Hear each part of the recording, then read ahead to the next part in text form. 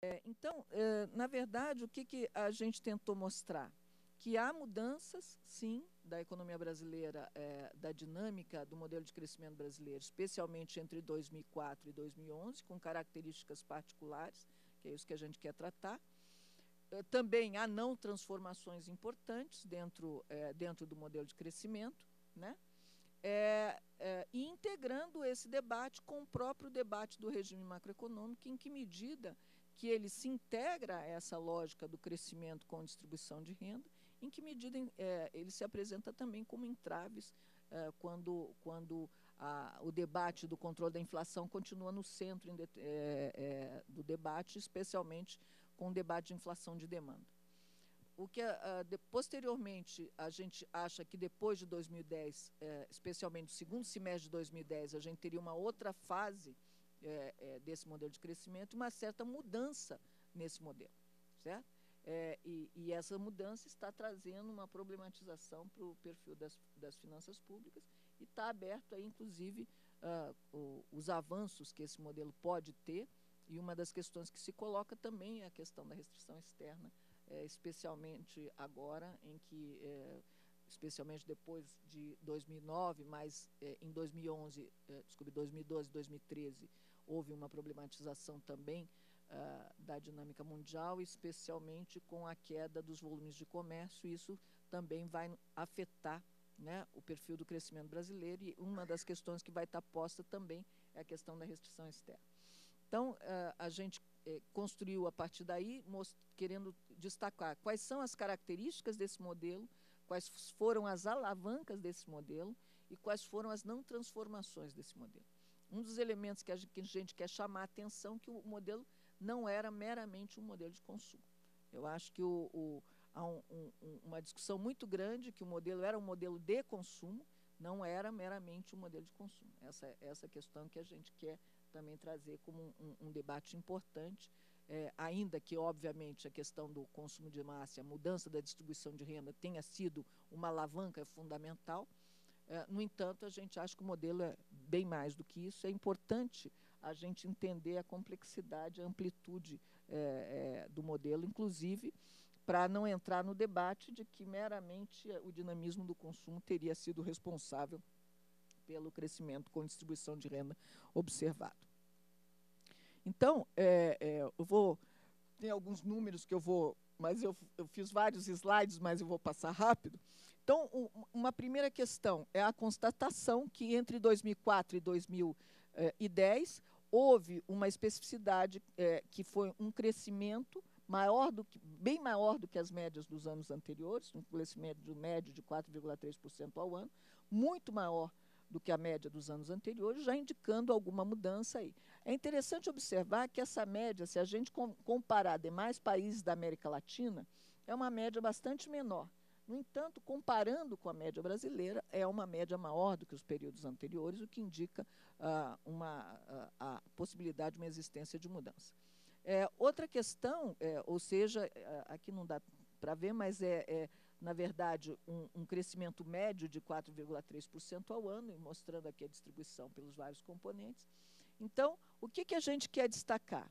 A experiência, a, a gente verificou no que no período houve uma experiência de crescimento inclusivo, no período entre 2004 e 2011, é, e que este, esse período, para além de crescer, com uma média maior do que os períodos anteriores, você cresceu com uma melhora na distribuição de renda, uma redução importante da pobreza e com uma melhora também é, importante em termos das condições de emprego do país, as, ta as taxas de desemprego se mantiveram em, nível, em níveis bastante baixos.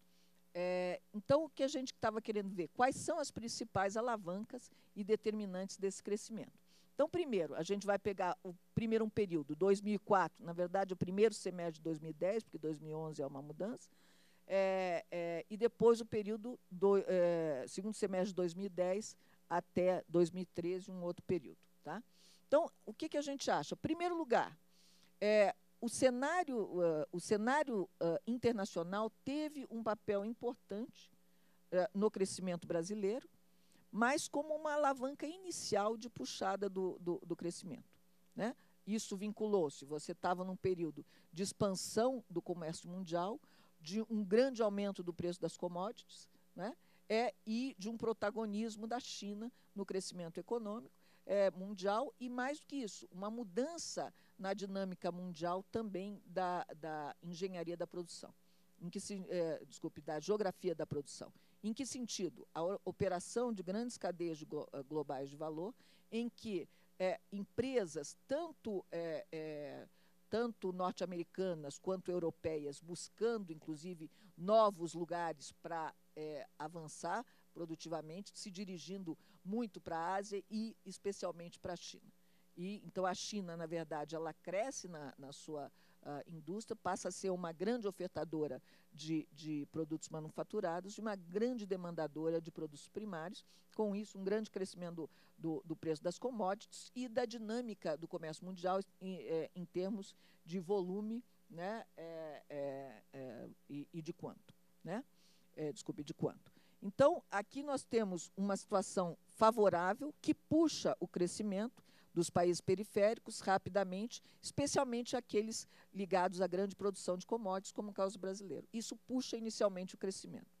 No entanto, a, gente acha que esta não é a alavanca, é, não é a única alavanca, ela é uma alavanca inicial que puxa o crescimento, mas junto com ela vem duas outras alavancas. Uma delas é aquela que gera a dinamização do consumo, né, que está ligada ao próprio crescimento que, que aumenta a, a, renda, que na medida que consumo, o, o consumo é uma função da renda, mas, para além disso, nós temos as políticas distributivas, especialmente as transferências de assistência e previdência social, que são um elemento importante enquanto é, é, geração é, e distribuição de renda, é, e temos também o aumento do crédito como um elemento fundamental é, dentro da, da, dessa dinâmica. Então, na verdade, a primeira alavanca é o cenário internacional, que puxa inicialmente o crescimento. A segunda é a dinâmica distributiva interna, por meio dos aumentos do salário mínimo, das transferências públicas de renda e do crédito às famílias. Então, a articulação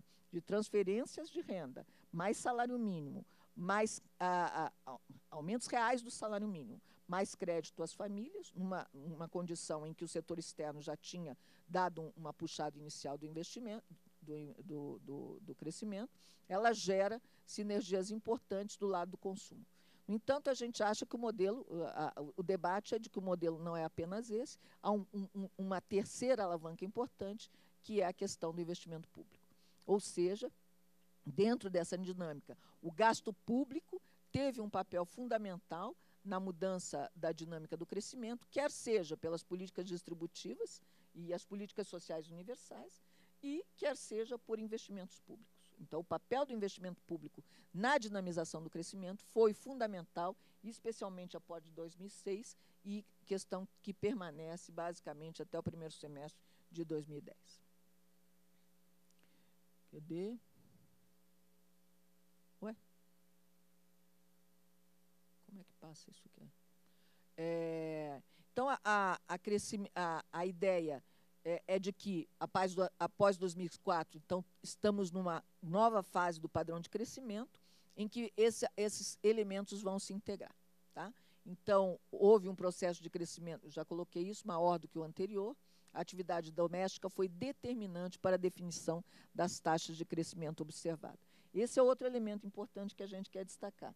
Ainda que o setor externo tenha sido fundamental e uma alavanca inicial do crescimento, Posteriormente, essas duas outras alavancas, elas geram uma sinergia é, muito importante de formas que o crescimento passa a ser explicado por, é, fortemente por fatores internos da demanda doméstica. Esse é, então, quando esses fatores internos da demanda doméstica são problematizados, a engrenagem que você tinha montado, ela sofre problemas de continuidade, o que acontece especialmente no segundo semestre de 2010.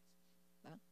É, Junto com isso, nós temos o tripé macroeconômico, né, com as formas de, na verdade, que envolve política, é, política de metas de inflação, uma fi, política fiscal que entre 2004 e 2010 é, trabalha com superávites primários em níveis importantes e consegue controlar esse superávit primário em níveis importantes, uh, uma política monetária vinculada à, à, à política de metas de inflação, muito relacionada ao debate de inflação de demanda, né? e de formas que, em determinados momentos, você volta com a política de combate à inflação via aumentos de juros, e uma política cambial, que é de câmbio flexível, mas com intervenções, mantendo-se um nível de taxa valorizada, né? taxa de câmbio valorizada. Dois elementos é, é, que. Ah, desculpe, isso aqui eu, é o, o crescimento brasileiro depois de 2013 eh, depois do segundo semestre de 2000, 2010, ele passa por mudanças, porque esse tripé macroeconômico que a gente tinha colocado, ele permanece, só que o mix da política macroeconômica uh, muda. Né? Na verdade, nós temos um movimento de redução de juros, com um controle é, é, fiscal maior, especialmente entre 2010, uh, desculpe, 2011 e 2012, que vai ter consequências importantes sobre o crescimento da economia, porque vai segurar uh, o investimento público, né? e isso vai gerar mudanças na dinâmica de crescimento. Né? É, é, e outro elemento importante é a questão de que, ao invés de desvalorização, de valorização cambial, nós vamos ter um processo é, de desvalorização cambial, cambial também com importantes consequências, tanto para a dinâmica do consumo, quanto para a dinâmica da inflação. Então, são esses elementos que a gente quer colocar, os dois momentos em que uh, a gente acha que há uh, um, um, movimento virtuoso de crescimento e depois que mudanças levam a que o crescimento atual se dê num patamar menor, na medida em que houve é, algumas mudanças na própria dinâmica do, do, do processo de crescimento e a dinâmica atual é de um crescimento mais baixo. Então, uh, uma das questões, essa que, que, a gente já colocou, que há uh, um crescimento com a melhora distribuição de renda, que é o indicador do índice de Gini, há uma melhora uh, importante de distribuição de renda, né, junto com um aumento do PIB. E junto com isso também uma redução da pobreza também em níveis importantes.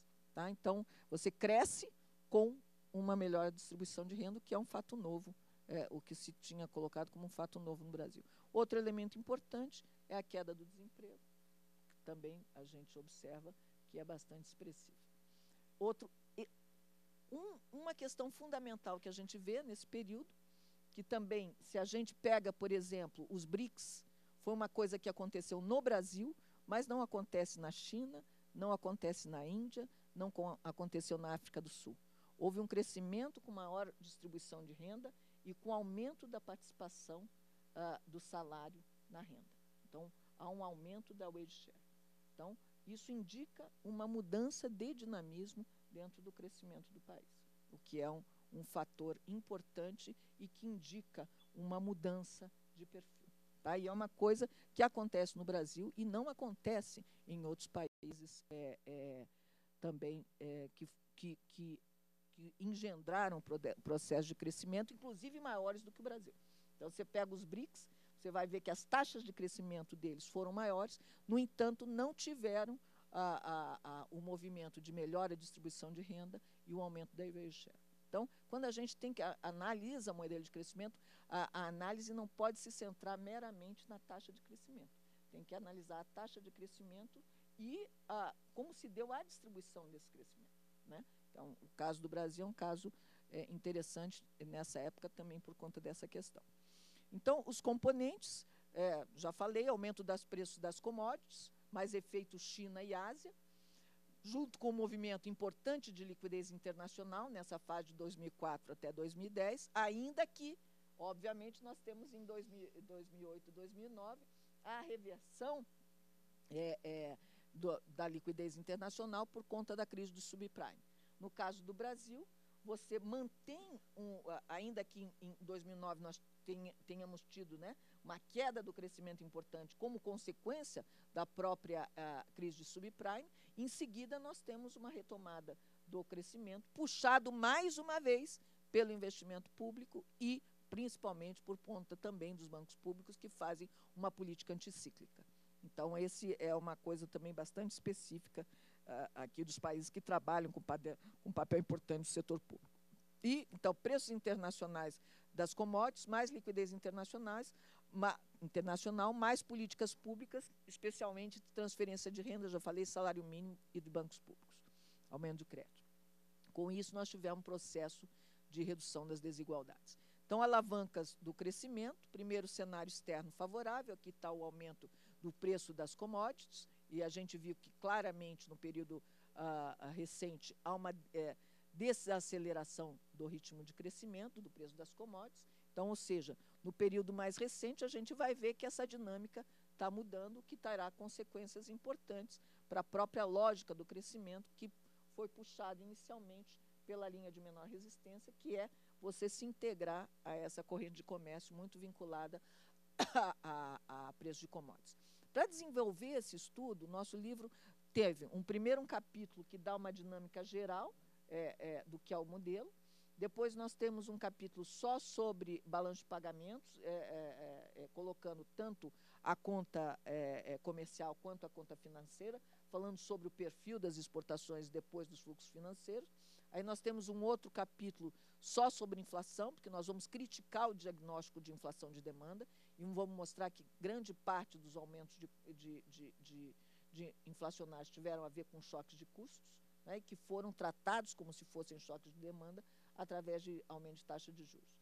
É, por fim, nós temos um, último capítulo que vai falar da dinâmica do consumo, do investimento e das finanças públicas, retomando as questões que estão colocadas. Desculpe, antes desse ainda tem um capítulo só sobre emprego, falando sobre a especificidade é, é, é do crescimento do, é, do, do, emprego e a, da redução do desemprego, que é aquela uh, aparente dicotomia de como que recentemente o Brasil está é, com taxas de crescimento bastante mais baixas e, no entanto, uh, não se verifica uh, um aumento expressivo do desemprego no país. Isso, então, teve, tem a ver com características particulares é, da dinâmica do emprego, e nós temos, então, um capítulo falando sobre isso. E, por fim, um capítulo final, que é sobre consumo, uh, investimento e finanças públicas, que retoma as questões que estão colocadas no primeiro capítulo e encerra também a discussão. Tá? Então, em primeiro lugar, o aumento do preço das commodities. Nós vemos um, um, uh, um primeiro momento, um aumento da balança comercial, né, principalmente através da integração é, da exportação de produtos primários. Para vocês terem uma ideia, a, a balança comercial brasileira, a, se a gente pega a exportação, pegamos o, o, os produtos vinculados a, a commodities e os, manu, os, manufaturados ligados a produtos é, básicos, você vai ter que isso corresponde a 70% das exportações brasileiras. Então, essa é uma mudança na dinâmica do mix da exportação brasileira.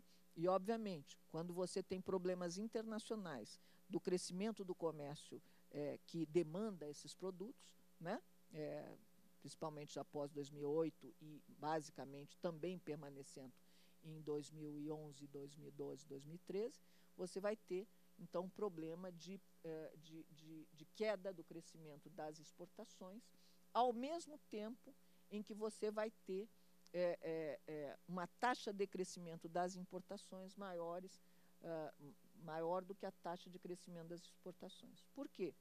Ao mesmo tempo que nós estamos mudando a dinâmica uh, interna da economia brasileira, puxada em grande parte por uma mudança do perfil da distribuição de renda, ao mesmo tempo, do lado é, é, do setor produtivo, a gente vai ver que existem importantes não transformações no lado do setor produtivo. A ideia é de que é, a estrutura produtiva né, ela, ela não se transforma efetivamente nesse período, sendo que em nível mundial é mudanças tecnológicas importantes, coisa que a, a, a, a dinâmica da, da estrutura produtiva brasileira não acompanha. Então, toda vez, na verdade, que você tem é, movimentos maiores de crescimento, nós acabamos comprando do exterior produtos intermediários, né, e há desintegrações internas de cadeias produtivas domésticas, de forma que você cai, de certa forma, numa armadilha. Toda vez que você aumenta o ritmo de crescimento, você aumenta também o ritmo da importação. Quando a exportação ela consegue ser tão vigorosa a ponto de suplantar essa dinâmica é, perversa, você tem resultados bastante expressivos da balança comercial, que é o período em que você tem um grande boom de comércio internacional. Quando isso começa a ficar problematizado, os surtos de crescimento, eles trazem um aumento da importação vinculado à, à, à importação de produtos é, intermediários e outros produtos manufaturados, enquanto que a exportação vai perdendo dinamismo. Então, isso aqui vai gerando uma armadilha ao longo do tempo, especialmente depois que o comércio mundial começa a reverter o seu dinamismo de crescimento. Coisa que começa a ocorrer a partir de 2008, mas especialmente ah, ah, nos anos de 2012 e 2013, você vê um estancamento, de certa forma, do, o, do quantum do comércio mundial, o que é uma coisa altamente problemática pelo perfil da exportação brasileira. Bom, então isso aqui é só para mostrar para vocês. Esse aqui é, é, é, é do lado da, da, da, importação. Vocês vão ver aqui, o verde aqui, a importação de, de bens é, é, intermediários. E aqui do lado das exportações, é a exportação de manufaturados, a exportação de básicos e semi-manufaturados, a mudança da dinâmica desse perfil. Com isso, nós temos taxas importantes de crescimento, basicamente até 2008, né? E nós vemos que a, a, a, o consumo e o investimento têm um papel importante, crescem o papel do consumo e do investimento, e, paralelamente, o papel do setor externo ele, ele, ele não, se, não se apresenta como fator central do crescimento econômico e depois passando a ter, inclusive, é, um efeito negativo sobre o crescimento.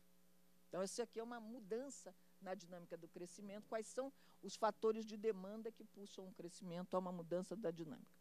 Então, é, outro elemento fundamental da alavanca do crescimento são os gastos públicos com transferências de assistência e previdência, crescimento do salário mínimo e popularização do crédito. Esses são elementos fundamentais que vão afetar a questão da renda, né, as famílias, e que vão afetar a questão do consumo. É, então, são elementos. E que se integram a um momento em que nós estamos trabalhando com um, um movimento de valorização do câmbio. Porque tem. É, nós estamos naquela primeira fase em que a balança comercial é muito superavitária, né? na verdade, nós temos resultados positivos de transações correntes, entra muito capital, tanto por transações correntes do país, quanto por fluxo financeiro. Então, você tem um movimento de valorização do câmbio bastante expressivo, né?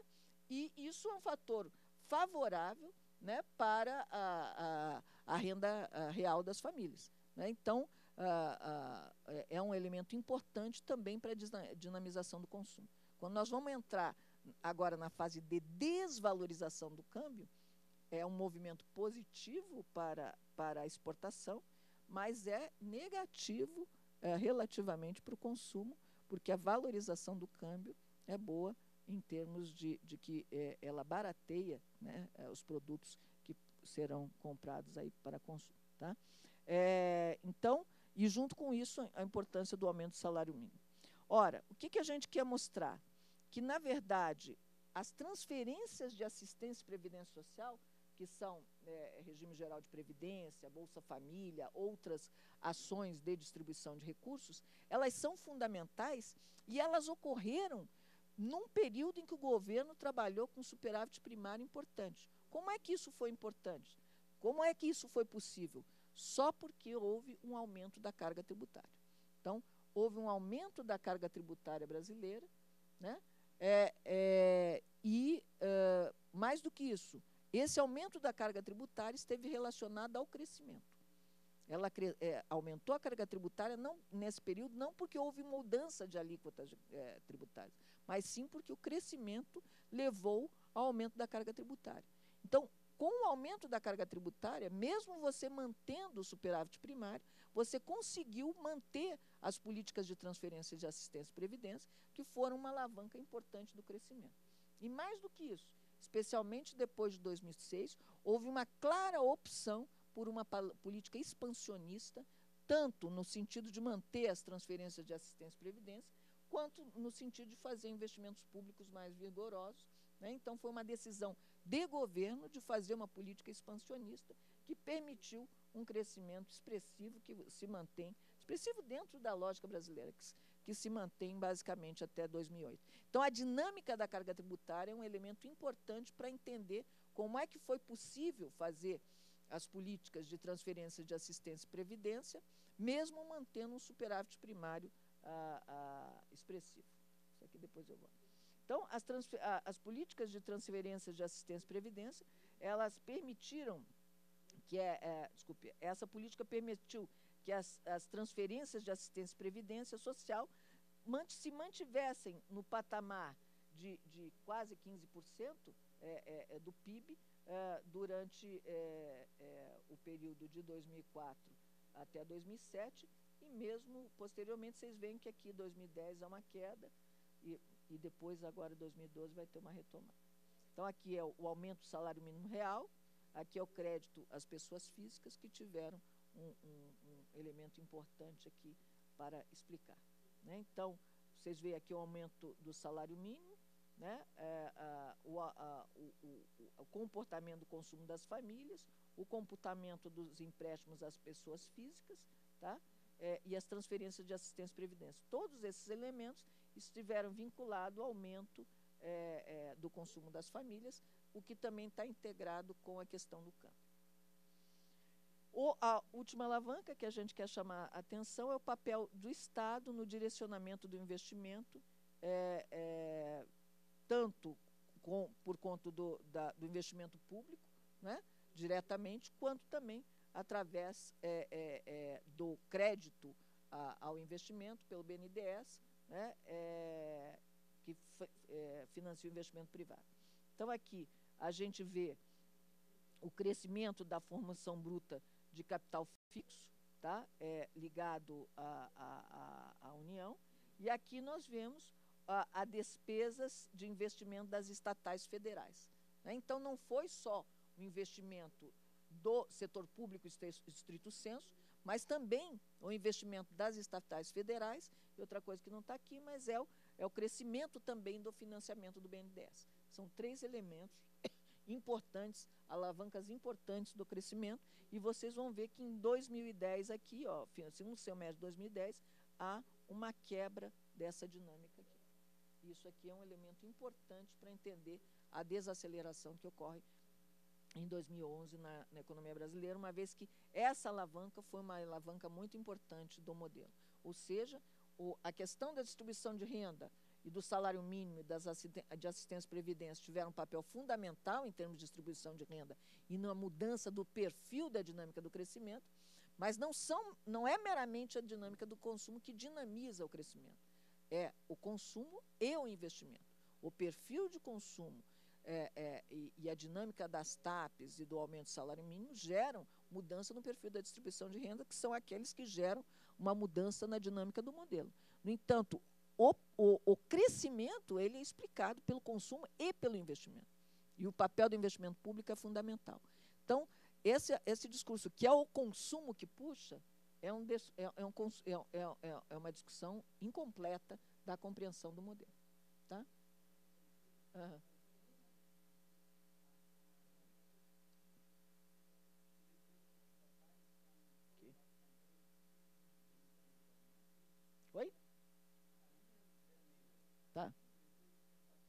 Hum. Não, são separados. Não, são, são separados. Não, é, então, uh, uh, esse ponto do, do gráfico é para dizer, uh, então, então, fundamentalmente o seguinte, tá? Esse gráfico azul é a, a formação brusca de capital fixo da, das três esferas da, é, é, de governo, ou seja, a União, os estados e os municípios, tá certo? Isso porque isso a, a, a gente consegue é, é, calcular, tá certo? A linha é, é, é vermelha né, são tá, os investimentos das empresas estatais federais. Tá? A gente não tem assim, os dados das empresas estatais, então de estados e municípios. Tá? E o ponto desse gráfico é dizer o seguinte, fundamentalmente, é, tá, o investimento público ele ficou parado tá? entre 95 e 2004. Tá? Ele ficou então flutuava ali, ia, ia para cima, ia para baixo, ficou parado. Até que um dado momento ele começou a subir. Começou a subir bastante rapidamente, tá certo? Então, é, para sublinhar a ideia de que você tem. É, é, e aí, você, é, é, é, fundamentalmente, a ideia que está dizendo aqui é o seguinte: olha, como que você cresceu e distribuiu renda dessa forma? Tá certo? Quer dizer, que, então, que o consumo, que, que você distribui renda e você consumiu um monte, assim todo mundo sabe. Tá certo? Tá? É, é, é que você teve um, um, um, um bom quadro externo, isso também, será que mais ou menos as pessoas já sabem. Então, que não foi só a gente que, que, que é, é, que cresceu, todo mundo cresceu. Tá certo? O que as pessoas não sabem é que, é, é que o investimento cresceu mais do que o consumo. Tá certo? O investimento não, ele não cresceu mais do que o consumo porque, bom, por uma coincidência, etc. Ele, ele cresceu mais do que o consumo porque o consumo levou o investimento a crescer mais, tá certo? E, assim, ajudado fundamentalmente pelo investimento público, tá certo? Esse é o ponto, né? Até que, um dado momento, o investimento público parou de crescer. E isso teve implicações, um pouco essa ideia que está vendendo. É, então, a, a própria dinâmica do crescimento gerou impacto sobre as decisões de investimento privado, e a isso se somou o investimento público, que aí é uma das alavancas fundamentais. Você vai ver que depois de 2004 aqui, ó, há uma aceleração desse crescimento e é uma decisão de política expansionista e mantendo o superávit primário. Tá? Essa é uma coisa interessante que aconteceu nessa época e é uma decisão de governo. Ah.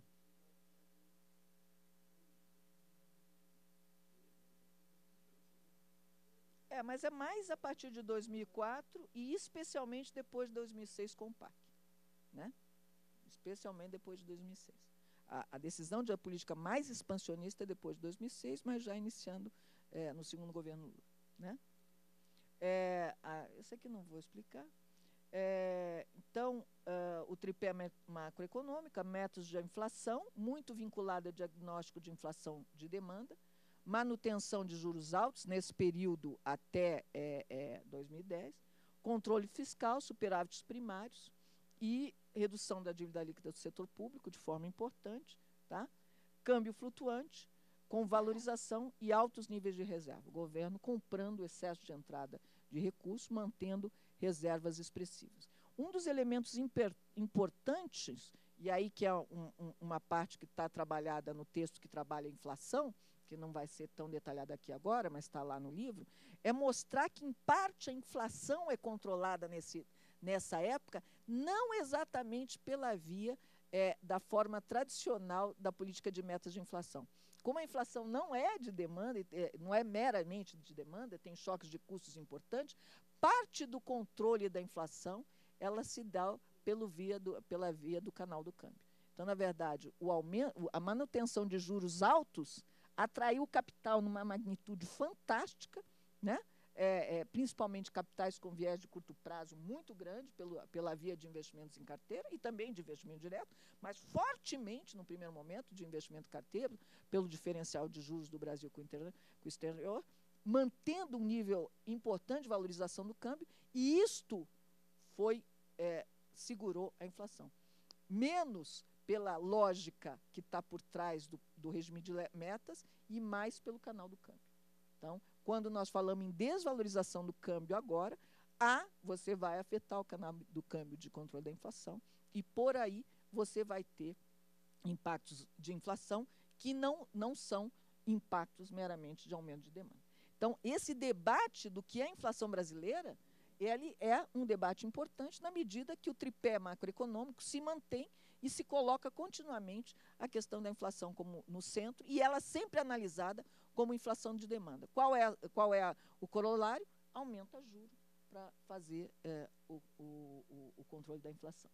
Então, nós vemos que o movimento é de queda da taxa Selic é, é, é, meio que contínua da taxa Selic, no entanto, obviamente, com uma queda mais expressiva, daí de 2011, que a gente vai falar que houve uma mudança de política.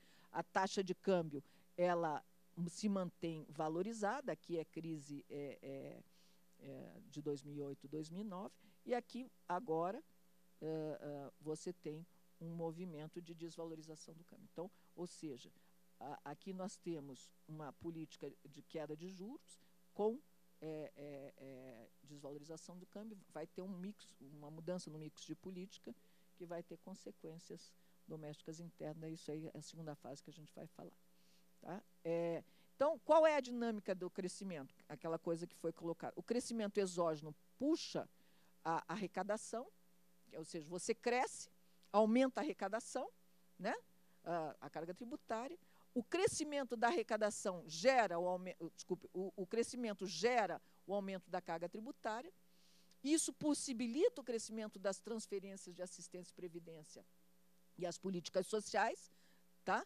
E o, possibilita também o aumento do salário mínimo real. E o aumento do salário mínimo real gera mais aumentos de transferência de assistência e previdência, porque parte das transferências estão ligadas ao salário mínimo. Então, quando se aumenta o salário mínimo real, se aumenta as transferências de assistência e previdência, e aí dá uma sinergia positiva. Tá? E isso mesmo num período, eh, num contexto que você continua trabalhando com forte ajuste fiscal. Ou seja, o crescimento puxa isso e o início, o início do crescimento é exógeno. Mas, junto com isso, nós temos é, essa dinâmica que é possível por conta da Constituição de 88, que é, é das políticas universais, junto com decisões de política pública, que é de transferências é, é, públicas, como, de, de, como, por exemplo, a questão do Bolsa Família, que é apenas uma pequena parte do total das políticas de transferência, assistência e previdência, que tem impactos importantes sobre a redução da pobreza. No entanto, a distribuição de renda está fortemente relacionada com aumentos reais de salário mínimo. É, de, junto com isso, nós temos a decisão da política expansionista que eu falei, daí se, se integram as três, é, as três alavancas, e isso define uma mudança na dinâmica interna da economia brasileira. Tá? Então, na verdade, aqui nós vemos que grande parte é só para mostrar, esse aqui é, é o consumo das famílias, é o que está cor de abóbora, e aqui a renda pessoal disponível, que tem todo um cálculo especial que eu não vou tratar aqui, mas vocês veem como o consumo das famílias está uh, altamente integrado à renda pessoal disponível. Portanto, transferência de assistência e previdência, aumento do salário mínimo, aumentos reais de renda vinculados à questão da desvalorização do câmbio impactam diretamente o consumo. Se há uma mudança nesses elementos, se o crédito cai, se o crescimento cai, né? se ao invés de, desvaloriza, eh, de valorização do câmbio, você trabalha com valorização, isso vai ter impacto sobre o consumo, que é o que ocorre após 2010, que a gente vai ver aqui. Ó, tá? Aí são quedas é, no consumo.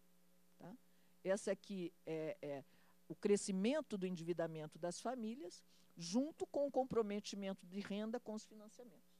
Tá? Então, de fato, há um aumento do crescimento é, é, do endividamento, junto com o componente do, de comprometimento da renda. Só que de se destaque que parte importante deste endividamento, coisa que as pessoas não estão falando, não é meramente endividamento vinculado a, a só consumo.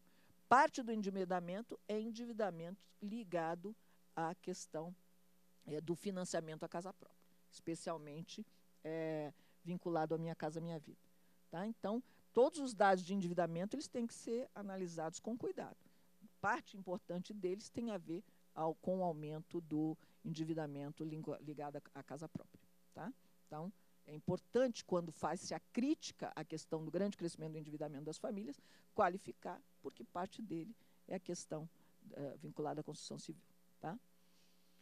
É, só para ter ideia da importância das transferências de, de, de públicas do Brasil, as transferências atingem 15% do PIB, os benefícios de regime geral de previdência social atingem 25 milhões é, de pessoas, quase 4, 4 milhões de famílias recebem benefício da LOAS, que são, faz parte também das transferências de assistência. Mais de 13 milhões de famílias são assistidas pelo programa Bolsa Família, o que impacta sobre redução de pobreza. Cerca de 16 milhões de brasileiros recebem abono salarial e quase 8 milhões recebem seguro-desemprego. Né? Então, essas transferências públicas têm cumprido um papel decisivo no processo de desconcentração de renda verificado. E isso é uma decisão de política pública interna. Né? Esse é um elemento importante. Então, é, o aumento do consumo gera aumento de demanda em geral e gera, portanto, decisões de investimento do setor privado ligadas à produção desses bens de consumo. Certo? A isto é, é, é se, é, são auxiliados a um auxílio dos investimentos públicos em muitos partes, e além disso, o financiamento do investimento privado é feito pelo BNDES, que também é uma decisão de, é, de política pública. Né?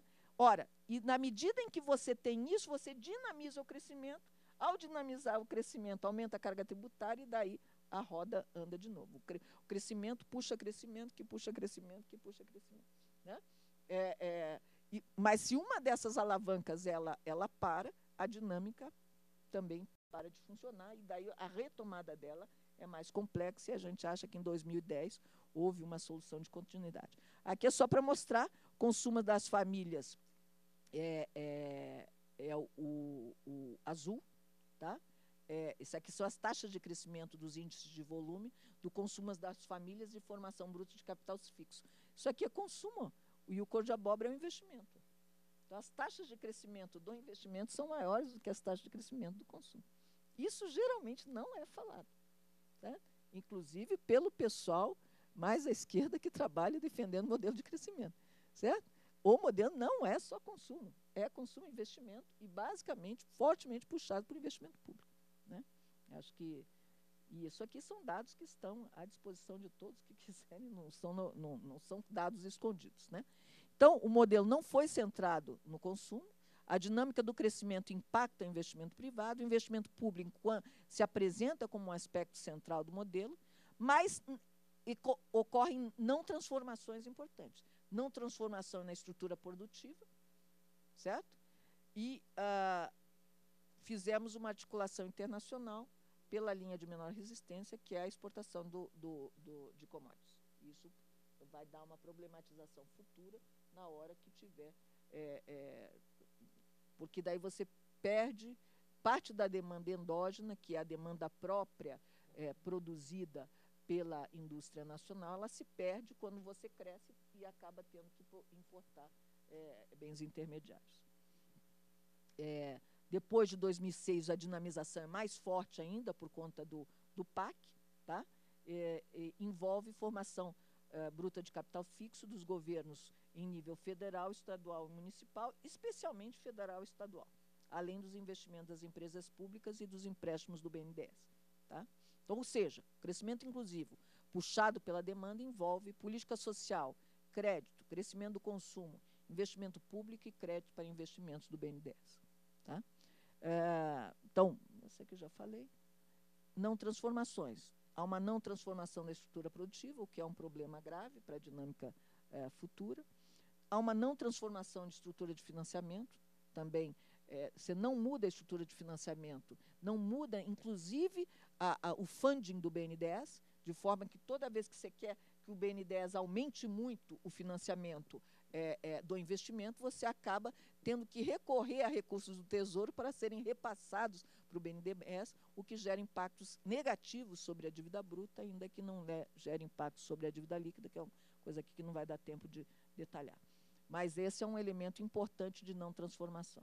E há uma não mudança até 2004, do, do, desculpe, 2010, do tripé macroeconômico, centrado no debate de inflação de demanda, né? É, é, de formas que você.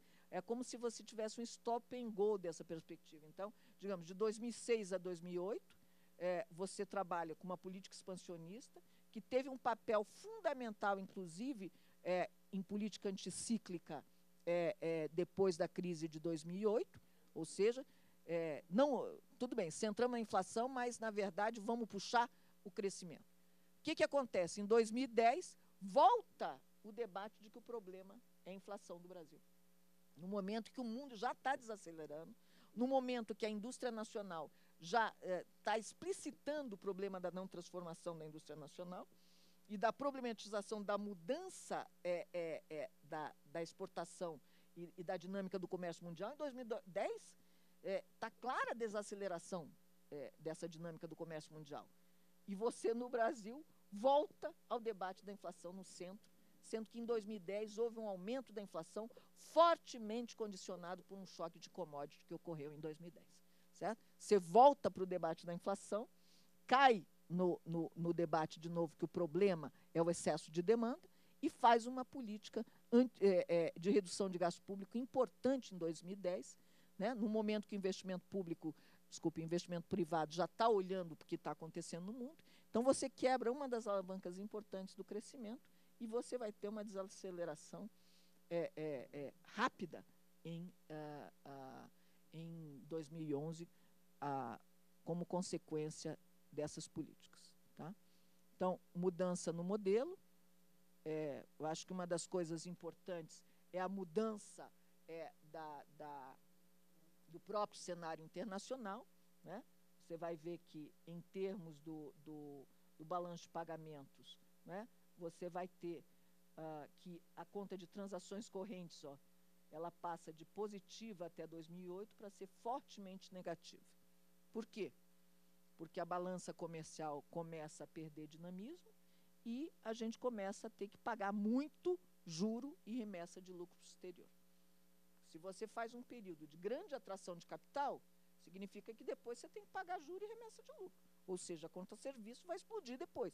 Então, aqui é o momento da explosão da conta serviço, por, por conta de um excesso de entrada, isso aqui é investimento em carteira, um excesso de entrada de investimento em carteira aqui até 2008, aqui nós estamos pagando a conta de parte disso aí. Né?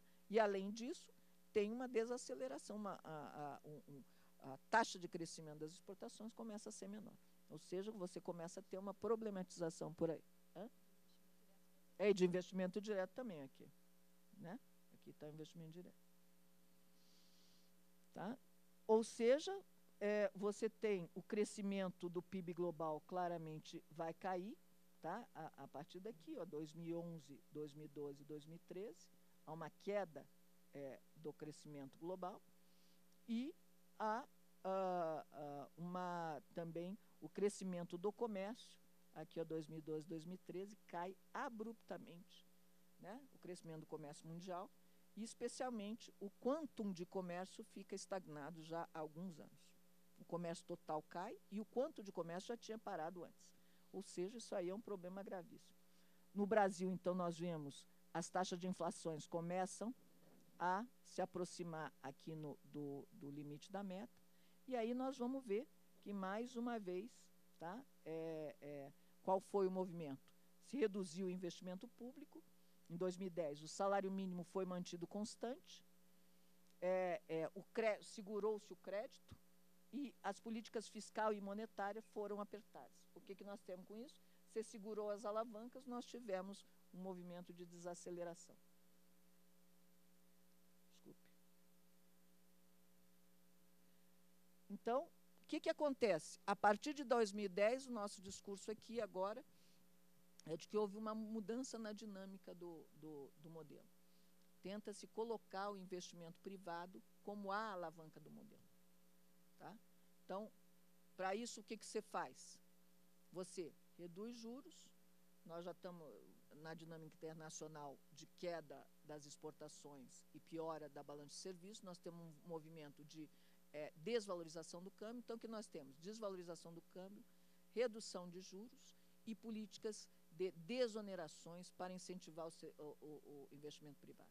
Então, é, é a tentativa de colocar uma nova alavanca, que é o investimento privado, mas isso vai ter consequências importantes sobre as contas públicas. Por quê? A, a, a arrecadação começa a cair porque a gente começa a crescer menos, certo? E depois de 2012, a gente tenta voltar com os investimentos públicos e com as políticas sociais nos patamares anteriores. Ora, só que agora a arrecadação caiu. A arrecadação caiu porque a gente está crescendo menos e porque também a gente está fazendo desoneração.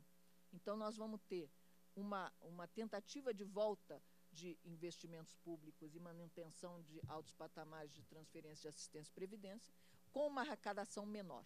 E isso vai dar queda do superávit primário. Então, esse novo modelo ele traz uma armadilha sobre a arrecadação, especialmente num período que a gente está com baixo crescimento. Tá? E mais do que isso, a opção pela, pelo, pelo acordo com a Fiesp não traz o prometido, que é o investimento privado crescer. Certo?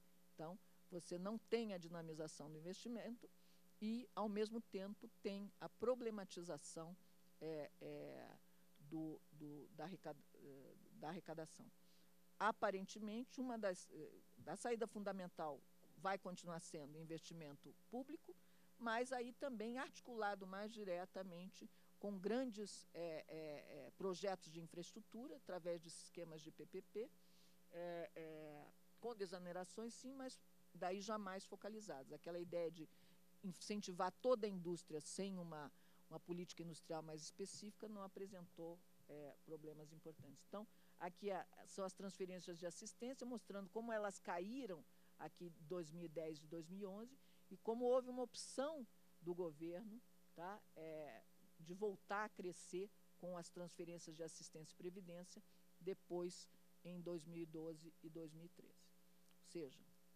o governo fez uma retranca em 2010, 2011, viu que tinha feito besteira, voltou a crescer aqui, mas tentando colocar a alavanca do crescimento é, com, no setor privado, que problematizou futuramente as contas públicas.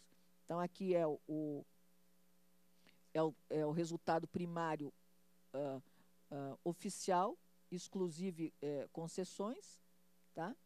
e aqui é o superávit daí colocando concessões, dividendo Petrobras e Fundo Soberano. Ou seja, se a gente não tivesse posto as concessões aqui, com, pegando só o, o, o, o, primário sem as concessões, o primário fica bastante maior do que o que se, se observa. E aqui é para mostrar que a redução de juros teve um impacto importante sobre a, as despesas do setor público com o pagamento de juros. A retomada do crescimento dos juros agora problema, provavelmente problematizará isso aqui, né? e, na verdade, um ganho é, do período 2010-2011, que tinha sido a redução expressiva dos juros, está se perdendo a, atualmente, em grande parte também pelo retorno do próprio debate do que é a inflação brasileira. Então, na verdade, o que a gente acha é que nós estamos numa nova fase, tem que ser debatida a questão é, é, é, da, da questão da restrição externa. No entanto, uma das coisas importantes que em termos de balanço comercial, uma conta fundamental da balança comercial é a conta petróleo, que estava problematizado, mas a ideia é que no futuro hajam melhores condições, é, especialmente por conta da operação de plataformas de petróleo e melhora da, da exportação de petróleo. Então, por um lado, provavelmente as exportações podem melhorar, de outro lado, você tem um crescimento mais, ainda que moderado, um crescimento da Europa, e uma volta do crescimento do Japão e dos Estados Unidos, que são também receptores de exportações brasileiras, e uh, uh, o, o, a manutenção do, do, crescimento da China num patamar mais ou menos de 6,97% é, é, é, é, de crescimento, o que mostra que também não há no, no, no front uma ideia de desaceleração mais grave do comércio mundial, como ocorreu no período imediatamente anterior. O fato da Europa, dos Estados Unidos e, da, e, e do Japão estarem crescendo, eles são parceiros, caíram a, a parceria conosco, mas de qualquer forma a gente vende mais produtos manufaturados para eles do que a gente vende para a China. Portanto, se eles estão retomando, ainda que minimamente, o crescimento, isso pode ser é, um, um, fator favorável para a exportação brasileira. Tá? Mas um, um dos debates é a questão da restrição externa, Outro debate é a retomada do debate sobre inflação brasileira, para é, é, não ficar na frente de, de, toda a política de expansão. E outro debate importante é a questão de explicitar a, o debate é, fiscal, mostrando que não há um descontrole de gasto por parte é, da administração pública e que, na verdade, nós estamos com um problema de queda de receitas vinculadas tanto ao crescimento quanto à questão do aumento das, é, é, das desonerações, que é uh, a manutenção das mesmas, parece ser um problema para o futuro. Então, acho que são questões importantes que a gente quer colocar, mas que, de fato, houve uma mudança na dinâmica é, do regime de crescimento, que políticas uh, públicas são fundamentais para a mudança da dinâmica do crescimento. Não é meramente o setor externo que determina a dinâmica interna de uma economia periférica como a brasileira, com um mercado doméstico como o brasileiro, com um, com um tamanho continental como o brasileiro. Portanto, há espaço de atuação de políticas públicas, ainda que claramente o cenário interno, externo seja muito mais desfavorável do que era, é, e, portanto, necessite de ajustes na dinâmica do crescimento, mas há possibilidade é, de é, você fazer uma, manobras internas e nós não somos completamente subordinados à dinâmica mundial, ainda que claramente sejamos afetados por ela. Acho que é, são essas as questões fundamentais que a gente queria colocar aqui para vocês.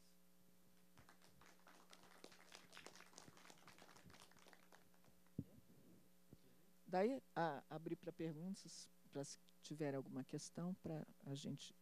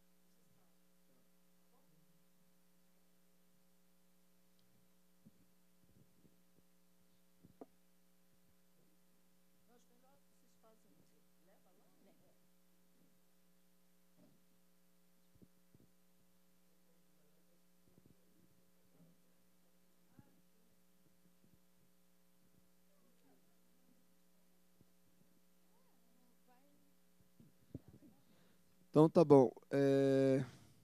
Eu sou Donizete Nogueira, presidente estadual do PT Tocantins. Em final de mandato, porque nós tivemos um grande pede aí. Eu fiquei é, em dúvida sobre o seguinte. Nós tivemos, com o crescimento, o aumento da carga tributária, no entanto, pelo que eu entendi, é, não houve aumento de taxa ou de, de percentual aumentou foi a arrecadação, ou seja, a gente teve um bolo tributário maior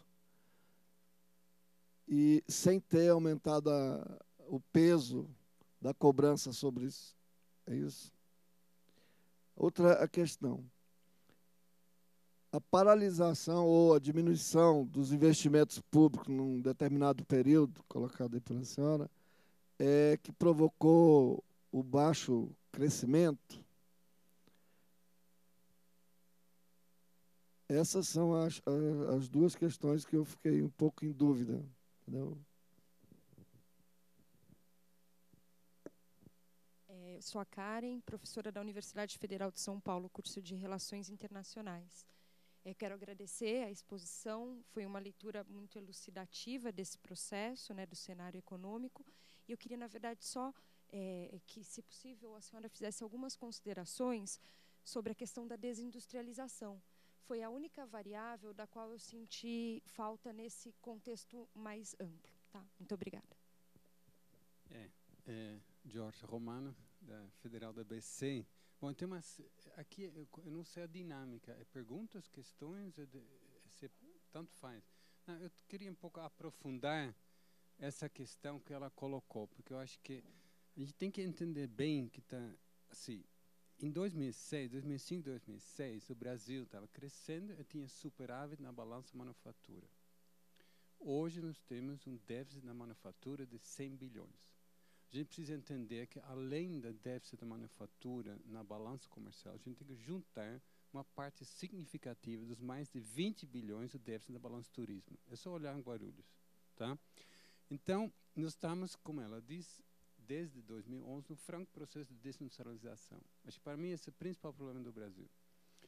É, e aí vem todo o resto. Então, por que isso aconteceu? Você mostrou lá aquela lógica, é que, porque eu estava ontem, ontem no evento, eu falei, fiz essa intervenção, mas o Lula falou logo em seguida e ele gostou nem um pouco. Porque ele voltou a falar daquele mecanismo que você falou. É, demanda, é, investimento. É. Só que o que acontece a partir de 2010, 2011? É, ele deu exemplo luz para todos, tal, então as famílias começam a comprar só a geladeira e ventilador em 2006, 2007, 7 a 8 dos, dos 10 ventiladores eram produzidos no Brasil.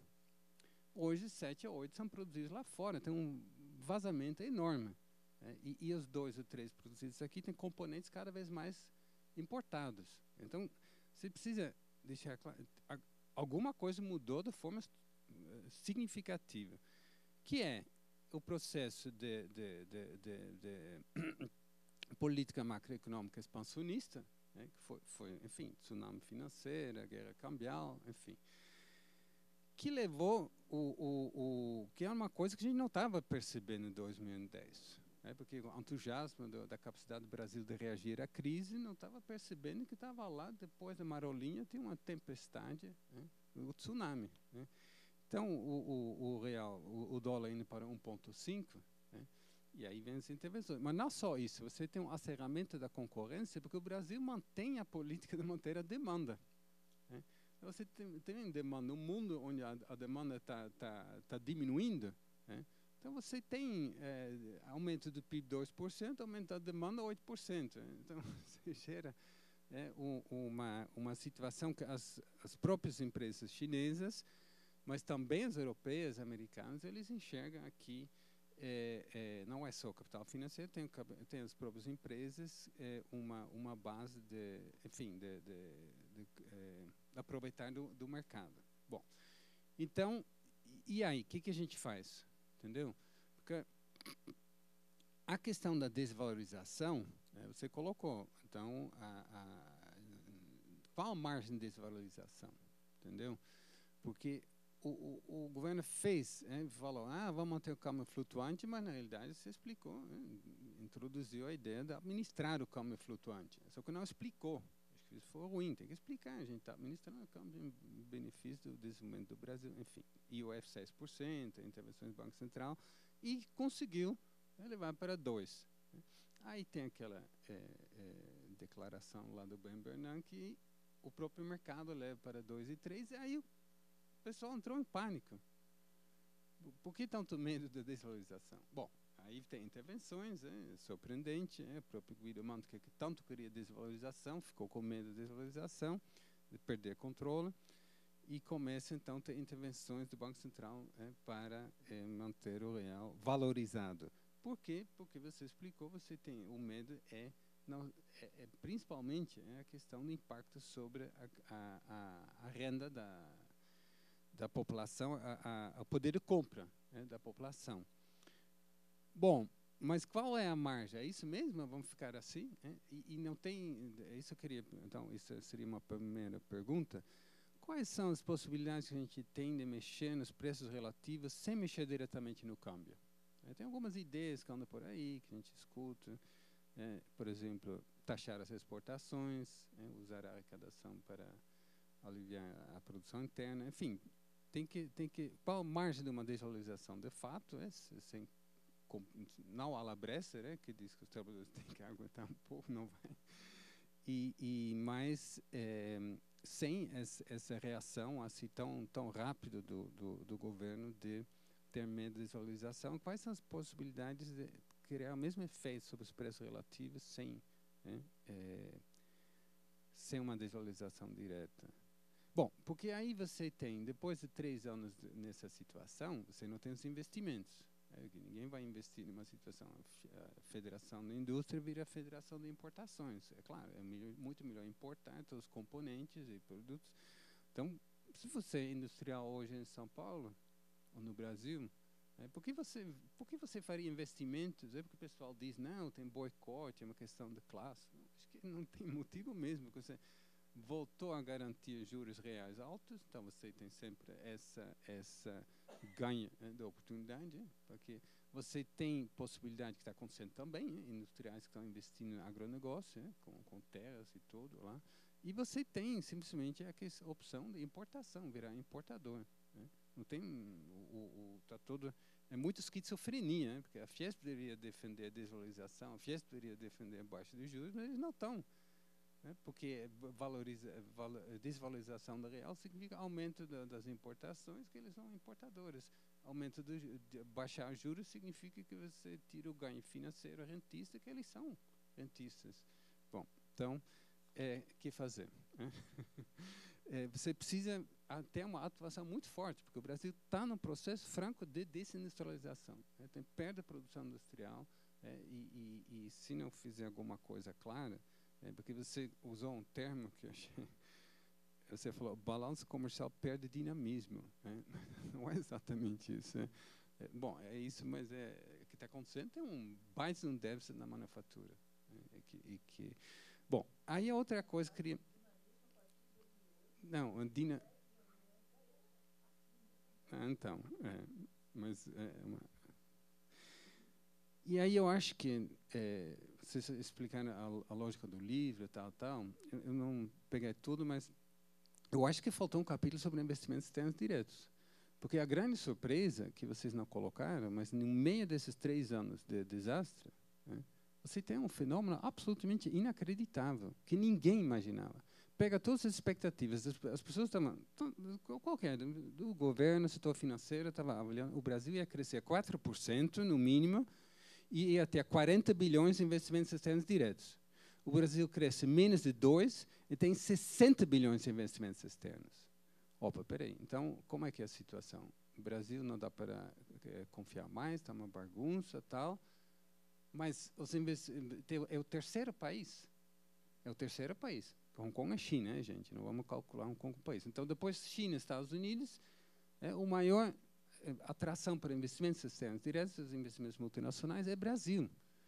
Então, assim, eu estou é, e não é só diretamente no, no, no setor primário.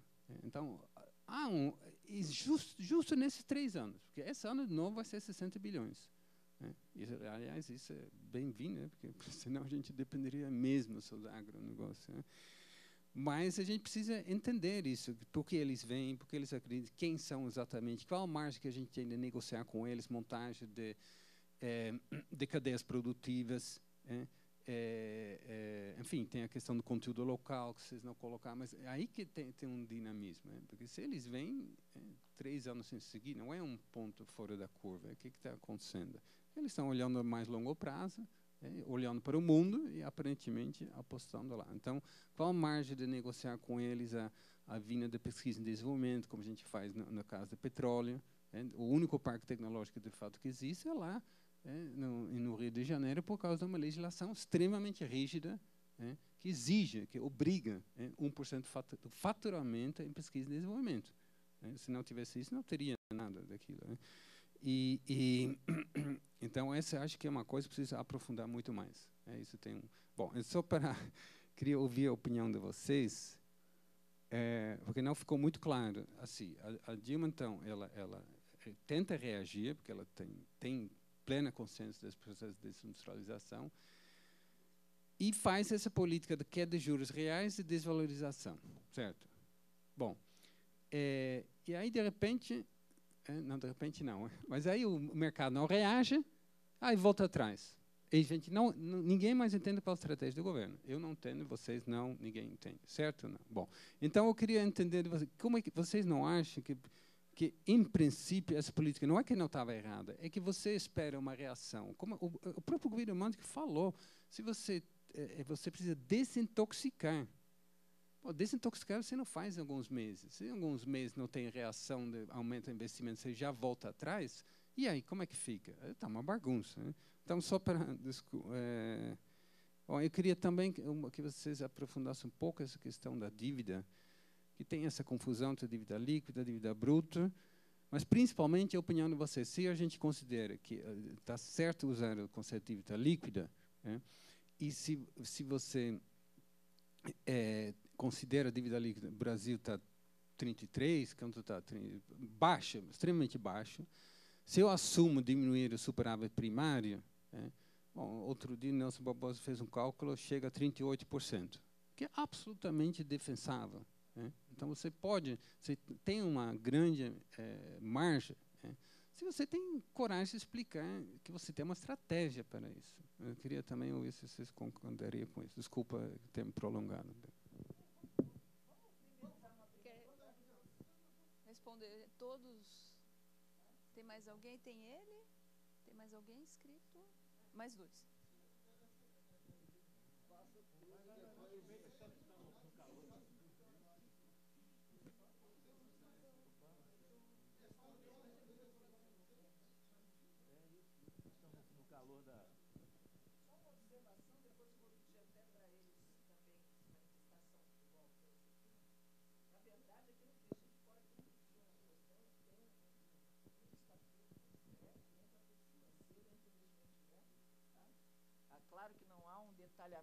Que não dava, o livro tinha, tem, tinha que ter 150 páginas, depois fiquei sabendo que tiveram outros que aumentar, mas eu tentei me ater o que combinaram comigo, que era 150 páginas. Mas, o, o, o de qualquer forma, é, é, é, de qualquer forma, tem uma parte de investimento direto, ainda que não tenha a parte, obviamente, de uma análise de quais sejam os setores, etc., porque daí é uma discussão detalhada só sobre isso, mas existe toda a, a, a amostra de, de que, em que medida, qual é a dinâmica de investimento em carteira e de investimento direto. Inclusive, problematizando, inclusive, a própria contabilização do investimento direto, que parte do que está contabilizado como investimento direto é investimento em carteira, tem perfil de investimento em carteira. Uma, uma parte é, é, depende do momento. Em momentos não tem, em momentos tem. Então, por exemplo, quando você mudou e começou a introduzir o IOF, parte do capital saiu de investimento em carteira e entrou transvestido de investimento direto. Depois isso dilui e agora estamos com o que é basicamente investimento direto. Então, não, não, claro que não. E, e, o Brasil é um dos grandes atratores de investimento direto e, claramente, isso significa alguma coisa. Então, o debate da restrição externa não é grave assim, como se fala também, até porque nós estamos atraindo bastante investimento direto. Então, uma das coisas que eu coloco lá no final desse capítulo né, é justamente a gente ver os patamares de atração de capital pela via de investimento direto continuam bastante expressivos. Então, nós não estamos com esse problema de falta de credibilidade, de dificuldade. Nós estamos atraindo bastante investimento direto. Então, isso é um, é um debate importante para a gente detalhar a questão da volatilidade do câmbio não é meramente falta de credibilidade. Esse é um discurso é, de mídia completamente esdrúxulo porque há uma fuga de capitais importantes no Brasil quando há qualquer movimento da política monetária norte-americana no sentido do aumento de juros. Nós temos um mercado futuro de, de câmbio no Brasil que reage muito rapidamente a, a, a variações de expectativas da política monetária norte-americana. A isso se junta uma lógica de moeda e depósitos em que bancos brasileiros podem sair muito rapidamente do país por conta da legislação. E isso gera um problema de volatilidade do câmbio muito particular do Brasil, porque o Brasil é um país que atrai muito capital é, é, é, de curto prazo e que, portanto, qualquer expectativa de variação no câmbio afeta a dinâmica deles e do próprio capital nacional, que também foge e especula nesse momento. Então, um, o, o, o peso do capital especulativo no Brasil e a possibilidade de especular através de mercados futuros é muito grande no Brasil, coisa que não acontece na China, por exemplo. Então, a dinâmica da, do câmbio no Brasil não está de, de, dessa coisa aqui, dessa grande volatilidade, não é falta de credibilidade, é questão especulativa em mudança de, de, de mudança, em elementos de mudança de conjuntura. A mídia trabalha com falta de credibilidade, a mídia trabalha com, com um problema gravíssimo de atração de capitais, o que absolutamente não é verdade se você analisa o perfil das contas. O que não quer dizer que não haja problemas, porque a nossa conta de transações corrente está uma droga, Especialmente também lá está colocada a questão da, da conta é, de, de, viagens internacionais, também está colocada lá é, uma observação quanto a isso. Também. No, no, no, no capítulo também tem essa parte. Tá? Depois a gente retoma. Posso fazer um ponto sobre a, a, a pergunta que o presidente do PT, Tocantins, né, você falou, fez, o Jorge, é, sobre a questão da, da, da a, ação sobre esse padrão de crescimento. A, a, a, tese aqui, ela é, então pode ser colocado de um, jeito, de um jeito simples, pensando em um avião, certo? Então, quer dizer, um avião com, com, com três turbinas, certo? Em um dado momento, as três turbinas estavam funcionando, né? Em um dado momento, duas turbinas pifaram, ficou com uma só. E aí, quando você ficou com uma só, o avião começou a cair, um pouco essa ideia, tá? É, é, é, que turbinas são essas? É, é, é uma primeira, um setor externo bastante favorável, tá certo? Que levantou a gente, levantou todo mundo em desenvolvimento inclusive a África subsaariana, inclusive o, o Oriente Médio, todo mundo cresceu depois de 2003. A gente, a gente, a gente deu sorte nesse sentido, certo? Até que o comércio internacional parou de crescer. Ele parou de crescer, assim, em 2012, o crescimento foi zero. Foi zero, certo? Tá? Então, aí uma turbina já foi, certo? Uma segunda turbina, de fato, você aproveitou essa onda positiva e você pegou esse dinheiro e você é, é, é, criou essa dinamização aí que o presidente Lula mencionou, que nós mencionamos, e que a gente acha que é a turbina que continua funcionando. É a turbina que continua funcionando. Você continua é, assim, distribuindo renda, você continua aumentando o salário, você continua tendo assim, aumento de consumo e você continua gerando alguma demanda, inclusive para para manufatura. Tá certo? Essa continua lá, essa está segurando a gente. Né? E você teve um, um, terceiro motor? Que é o crescimento do investimento público. Esse parou em 2011. Ele vinha crescendo, vinha crescendo, vinha crescendo. Em 2011 ele parou. Tá? Ah, o investimento público parou de crescer. E você parou de crescer aí fundamentalmente por conta de uma, de uma, ah, assim, de uma aposta, de uma ideia de que, ok, a gente vai ter que mudar o protagonismo aqui. Tá? Está muito pesado no, no, setor público, tá certo? A gente vai tentar trazer o setor privado para dentro. Tá certo? Vamos tentar trazer o setor privado para dentro. Como que a gente faz isso? Diminuindo os juros, tá certo? É, é, é, e, e, então, com isso, então, então desvalorizando o câmbio para tentar conter essa, é, é, é, então que pretensa, então que o Jorge mencionou. E você faz isso como você faz isso? Então, se você, então querendo manter a inflação sob controle e, e, assim assumindo que, que, a inflação seja meio de demanda, tá certo? O que é questionável, você é, é, segura as contas públicas. No que você segura as contas públicas, o investimento público desaba. Tá certo? Tá.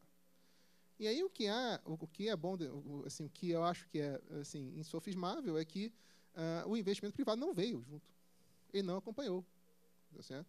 Você desvalorizou, uh, uh, você diminuiu os juros, tá certo? o câmbio desvalorizou, o câmbio desvalorizou em termos reais 30%, isso é, é, muito raro acontecer. É muito raro o câmbio real cair 30%. Tá certo? Ah, e você desonerou e investimento privado não veio. É simples assim. Tá certo? Tá? Investimento privado não veio por quê? Porque, bom, o investimento privado ele estava acompanhando o investimento público, o investimento público estava liderando, o investimento privado estava vindo atrás. Tá certo? Na medida que você que, é, que o investimento público saiu um pouquinho ok, bom, agora é com vocês, tá certo? E eles falam, bom, sozinho a gente não vai. Tá é fundamentalmente isso, tá certo? Tá? Ah, ah, então, é, ah, então, é um pouco essa a ideia. E aí você tem, de novo, uma segunda turbina voltando, agora aquecendo, e você tentando, ok, agora vai, agora vai, agora vai, que é a questão é, é dos investimentos em infraestrutura. Que aí, talvez, esse é um tipo de investimento privado que acompanha, tá certo? Tudo bem? Aí você faz um, um, um mega programa de infraestrutura, Tá certo? É um programa que está sendo subestimado, inclusive. Ah, esse é, é, é, programa de investimento em logística, está diversas licitações, uma atrás da outra, tá certo? Já foi porto, já foi, é, é assim, vários aeroportos, rodovias. É, é, é um programa, enfim, grande, de grande magnitude, que vai levar ao investimento privado, tá certo? Agora, eu particularmente acho que esse, que esse programa ele é muito bom, ele ficaria ainda melhor se ele fosse acompanhado de um, de um aumento do, então, do investimento público principalmente naquelas partes onde então a, a, a iniciativa privada não tem é, não tem interesse em, em investir, tá certo? Aí você teria duas turbinas. A terceira você não controla muito, a terceira é um pouco externa, mas duas turbinas de novo você e aí com duas turbinas você voa um pouco melhor, tá certo? E essa segunda turbina assim ela demorou um pouquinho para entrar em atividade, ela está entrando agora. Seria bastante melhor se ela é, é, entrasse agora, aí sim concordando com você, é, com regras fiscais que fossem menos, assim, que menos tóxicas ao investimento, né? Tá certo? Porque o que está acontecendo? Quando você, é, assim, você tem alguma, é, é, como que funciona as regras fiscais? Você tem assim a meta de, de, de superávit, tá certo? E você tem arrecadação. A arrecadação você desonerou um pouco, tá certo? E o país está crescendo um pouco. Então a, a, a, a arrecadação não está crescendo muito, tá? No entanto, você tem mínimos constitucionais de educação, mínimos, é, mínimos constitucionais de saúde, você tem todas as transferências, você tem todo o, o pagamento de servidores ativos, tá? E, e, e, isso te toma, certo? E o que sobra para o resto é investimento e outras políticas, certo? E aí é, é natural que o que o, é, então que o investimento e que as outras políticas públicas, que, então que não saúde, educação e transferências sofram, tudo bem? Ah, ah, e, e, nesse sentido, a nossa regra fiscal é mais conservadora do que os conservadores. Tá certo? São economistas do FMI. Né? Eu estou falando do, do Blanchard, estou falando do, né? então, de, de, é, é, é, de, gente como essa que fala, olha, faz sentido você excluir o investimento da meta de, de, de, de, de superávit primário, tá certo? E, e, assim, isso é uma, então não é uma ideia de esquerda, sequer de esquerda, tá certo? ela é uma ideia, assim, nossa, é um, é um consenso, é, inclusive conservador. O, assim, o fato de nós man, então, mantermos o investimento na nossa regra de, de, de superávit primário é uma indicação que somos mais realistas que o rei. nesse sentido. Ah, é, ah, então, dois pontos que eu queria fazer. Um sobre a questão da, então, da desindustrialização. Se você pegar tá certo? as fontes de demanda da nossa manufatura, quer dizer, a, a nossa indústria vende para quem? Ela certamente não vende para fora, certo? Ela vende um pouquinho para fora. Ela já vendeu mais, mas ela não vende nem 10%, 15% da, da produção para fora. Ela vende pra, para dentro. Tá? É, e ela vende fundamentalmente para o mercado interno. Para o mercado interno, e, portanto, ela é liderada pelo consumo. Certo? Você veja, dizer, é, então, se você for ver, é, é 50% do, do, do, consumo das famílias é de manufaturas. Certo? Então, a coisa do, do é, é, assim, essa ideia de que você, ok, você, então, então dinamiza o mercado assim, interno, e com isso você dinamiza também a manufatura, eu continuo achando verdade. Porque, olha só, porque, porque a nossa manufatura não vende para mais ninguém. Esse, esse é o ponto. E a questão é por que, que ela vendia. Então, é, é, se, você, se, você, pegar o quantum, o, volume está é, é, é, exportado de bens industriais, você vai ver que a queda é em 2006. Tá certo? Caiu em 2006. Caiu em 2006 porque, eu não sei, eu acho que caiu em 2006 porque algum acordo com. então, talvez a, a, a, tá, os países aqui da, da América do Sul então, tenham começado a, a importar mais ou, ou, ou a menos, né? Então, que tenham tido aí então maus anos, né? Porque a gente vende fundamentalmente quer dizer, manufaturas para a América do Sul, tá certo? Então, não sei exatamente o que aconteceu. A gente certamente não vende muitas manufaturas para a Ásia, a gente não vende muitas, a gente até vende algumas manufaturas para a Europa também, certo? E aí também, quer dizer, foram os anos que, que a Europa começou aí, então, quer dizer, particularmente pior, tá? Mas o que o, assim, o ponto central sobre a, a, então a tese da manufatura, né, é que, de fato, assim, é, não parece tá certo? que o principal determinante da competitividade externa das nossas manufaturas seja taxa de câmbio. Esse é o, só, não, se, não, esse é o ponto. Aí é uma questão de política industrial. Exatamente. Aí, isso, isso. Mas aí, exatamente. Mas aí é uma questão de, de, de política industrial e não está claro que a devaluação cambial vai resolver o problema. Você pode valorizar, bom, quer dizer, é, é, é, porque você tem duas visões para isso. Uma é que você é, é, estava 1,60, foi para 2,30, não, é, é, assim, essa não foi suficiente. Ok? Então, é, então essa segunda coisa. Uma é que não foi suficiente, então, seja porque o tempo não foi suficiente, seja porque você teria que ter desvalorizado mais. Tá? Agora tem um pequeno problema. Quando você desvaloriza o câmbio, você impacta a renda real, tá certo? Você diminui o consumo e você diminui, então que tem um problema com uma das turbinas, certo? E aí o consumo em 2013 não cresceu. Até agora o consumo em 2013 não cresceu. E ele não cresceu fundamentalmente porque os, produ os produtos ficaram mais caros. tem que ver. Esse, esse, é um ponto, tá certo? Então, a gente, eu já, já te passo a palavra. Então, a gente tem, na verdade, a gente está nesse, nesse momento, ou bem, se você continua com o câmbio, e você tenta, bom, é, é, mais à frente, com, é, com mais desvalorização, com mais tempo, a gente vai recuperar então espaços então, de exportação, ou pelo menos a gente vai conter os, os vazamentos, tá certo? O que, enfim, é, é, então não é óbvio que vai acontecer, tá certo? Ah, ou bem você fala, bom, enfim, você entende que, bom, a gente, é, para recuperar é, é, market share do mercado interno, é, é, do mercado externo, a gente precisa ter uma estratégia. Não é só câmbio.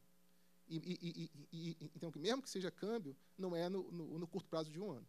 A última coisa que eu, é, é, é, que eu queria falar sobre a pergunta então, do presidente é o seguinte: então, por que, que a carga tributária aumentou? Tá certo? Então, dois terços do aumento da carga tributária foi porque você é, formalizou a mão de obra. E por que, que você formalizou a mão de obra? Por que, que entre 2004 e 2012 você criou 20 milhões de empregos formais no Brasil? Sendo que entre 95 e 2013 você tinha criado 4. Tá certo? O que, aconteceu? O que, por que, você conseguiu criar 20 milhões de empregos formais no Brasil? Resposta. Porque quando você distribui renda, essas pessoas elas compram então, bens manufaturados, mas elas também consomem serviços elas botam o filho na escola privada, elas, botam, elas vão para a academia de ginástica, tá certo? Elas pegam o ônibus, tá certo? Elas botam o filho na creche, né? elas vão para um plano de saúde, elas tiram um exame de sangue, elas tiram uma é, é, raio-x. E todos esses setores são, claramente, são muito fortemente trabalho intensivo. Tá certo? Tá? Não sei se já, ou, ou, elas comem fora de casa. Né? Quer dizer, fazem. É, é, se você for ver aonde cresceu o emprego, aonde se criou 20 milhões de empregos novos, 70% desses empregos foram em serviços. No comércio. Hein? Não, é de 2003 para 2000. Aumentou muito, mas note, e aí, aí você cria esses empregos formais e a carga tributária aumenta, dispara, na verdade. Então, liderada pelo crescimento das contribuições previdenciárias. Ou seja, você não. É, é então, desde 2004 não tem um aumento de, de alíquota.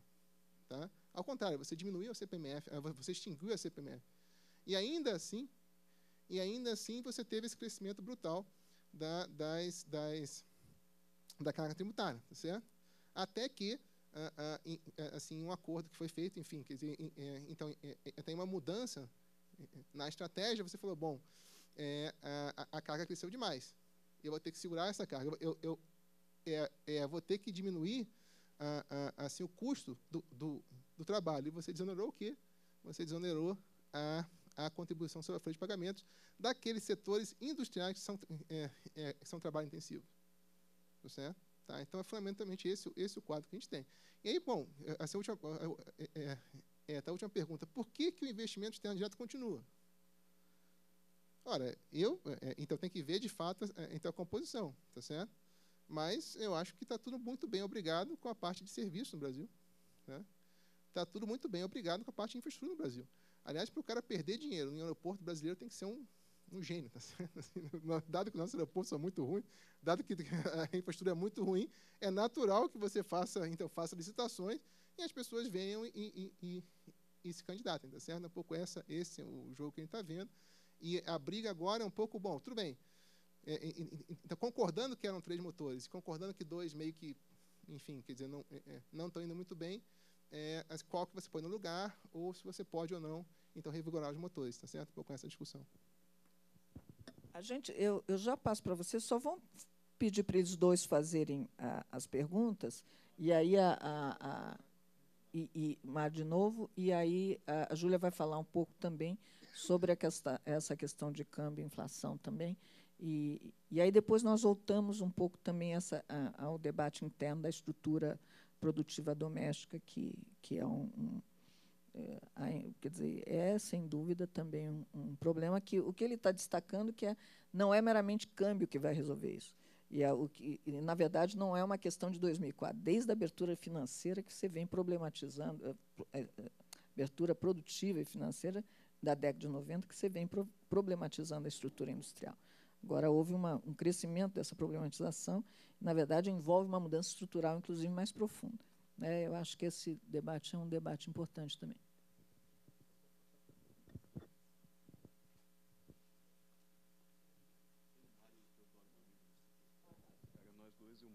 Não, a minha pergunta vai, é, é, foi bom que o Cláudio acabou de falar o que falou, porque era exatamente nesse sentido. Né?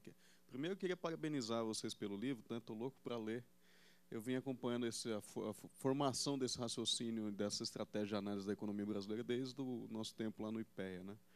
É, e aí me parece que aqui ela já está bem amadurecida né, e com, é, oferece um, um, um, guia né, muito é, claro para a gente poder ler o que está acontecendo, quais são os debates e quais são as mistificações que estão na, na, é, na ordem do dia aí. Né?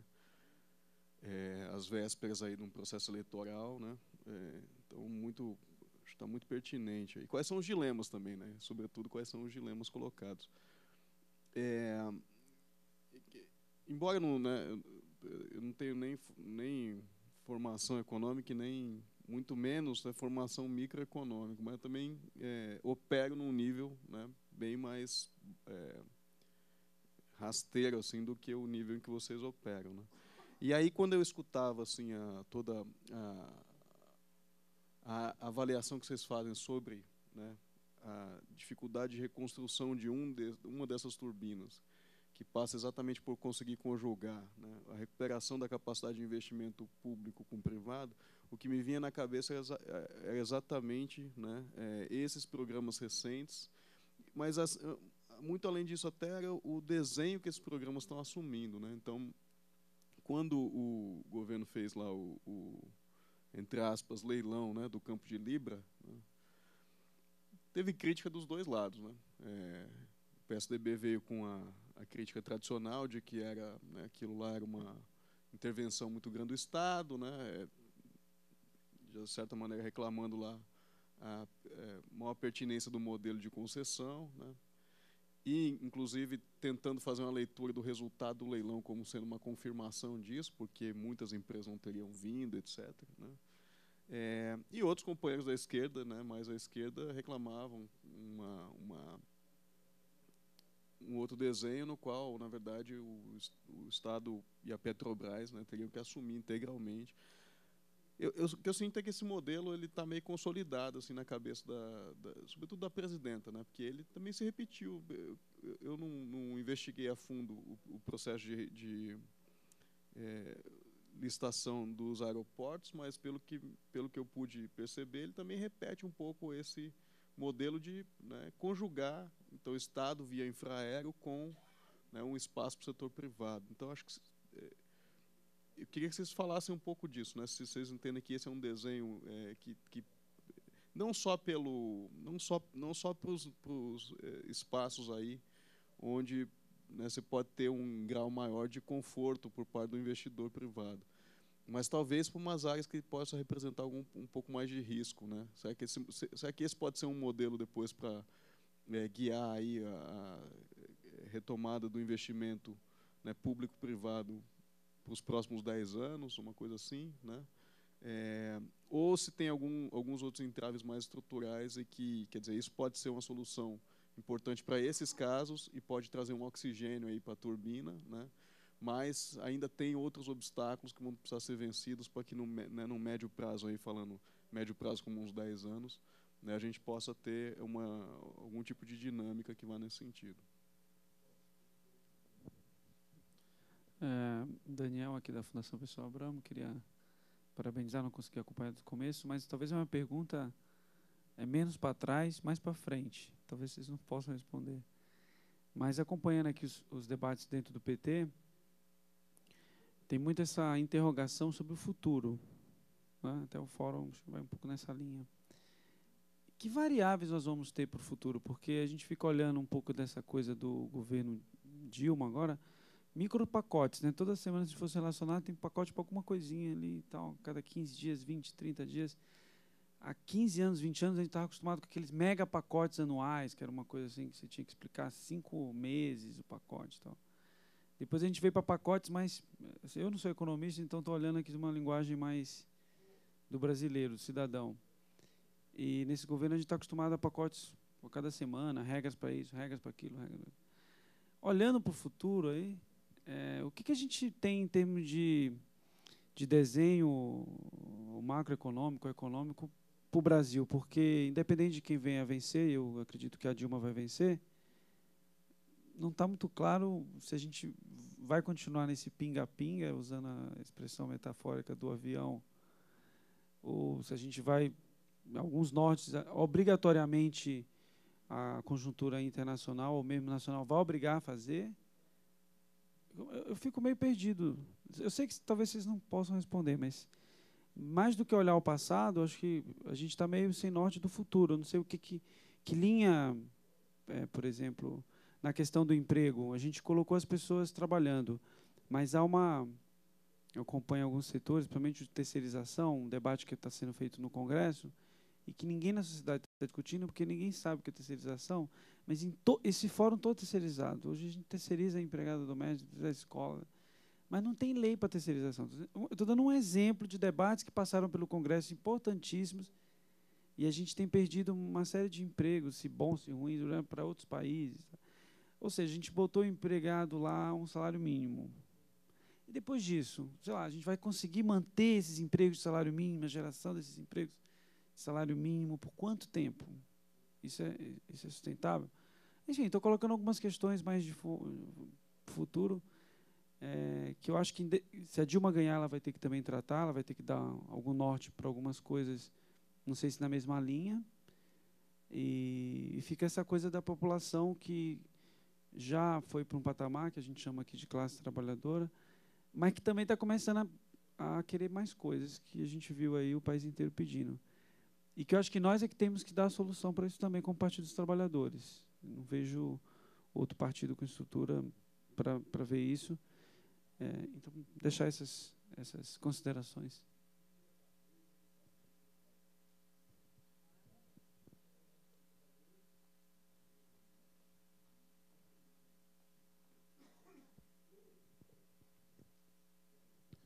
Obrigado. Queria, antes de mais nada, parabenizar a Vanessa, a equipe, é, pelo trabalho. Também estou muita vontade de ler.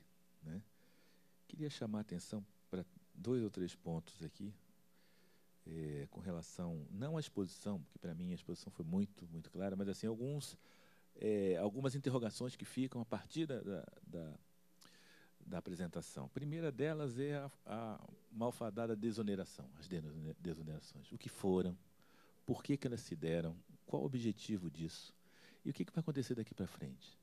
Essa coisa da renúncia fiscal me faz sempre lembrar o seguinte, que, bom, ela tem seu papel em alguns momentos, eu, eu concordo, mas é, que no Brasil a política econômica ela é muito é, influenciada pelas pressões dos grupos políticos. Isso aí é uma coisa importantíssima da gente sempre levar em consideração, porque é sempre aquela coisa: a pessoa, quando não está no poder, tem todas as, as respostas. Aí, quando chega e vira ministro da Fazenda, não, peraí, não é bem assim, tem um monte de pressão aí. Eu queria saber se isso, é, se isso, no caso alô, de desonerações, como é que a gente faz isso?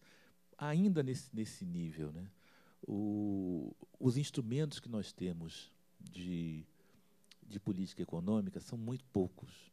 Né? Assim, o grau de manobra né, que o, o ministro ou sua equipe tem é muito pequeno. Basicamente, se mexe na taxa de juros. Alô? Ah, bate embaixo. Taxa de juros, ele, ele caiu.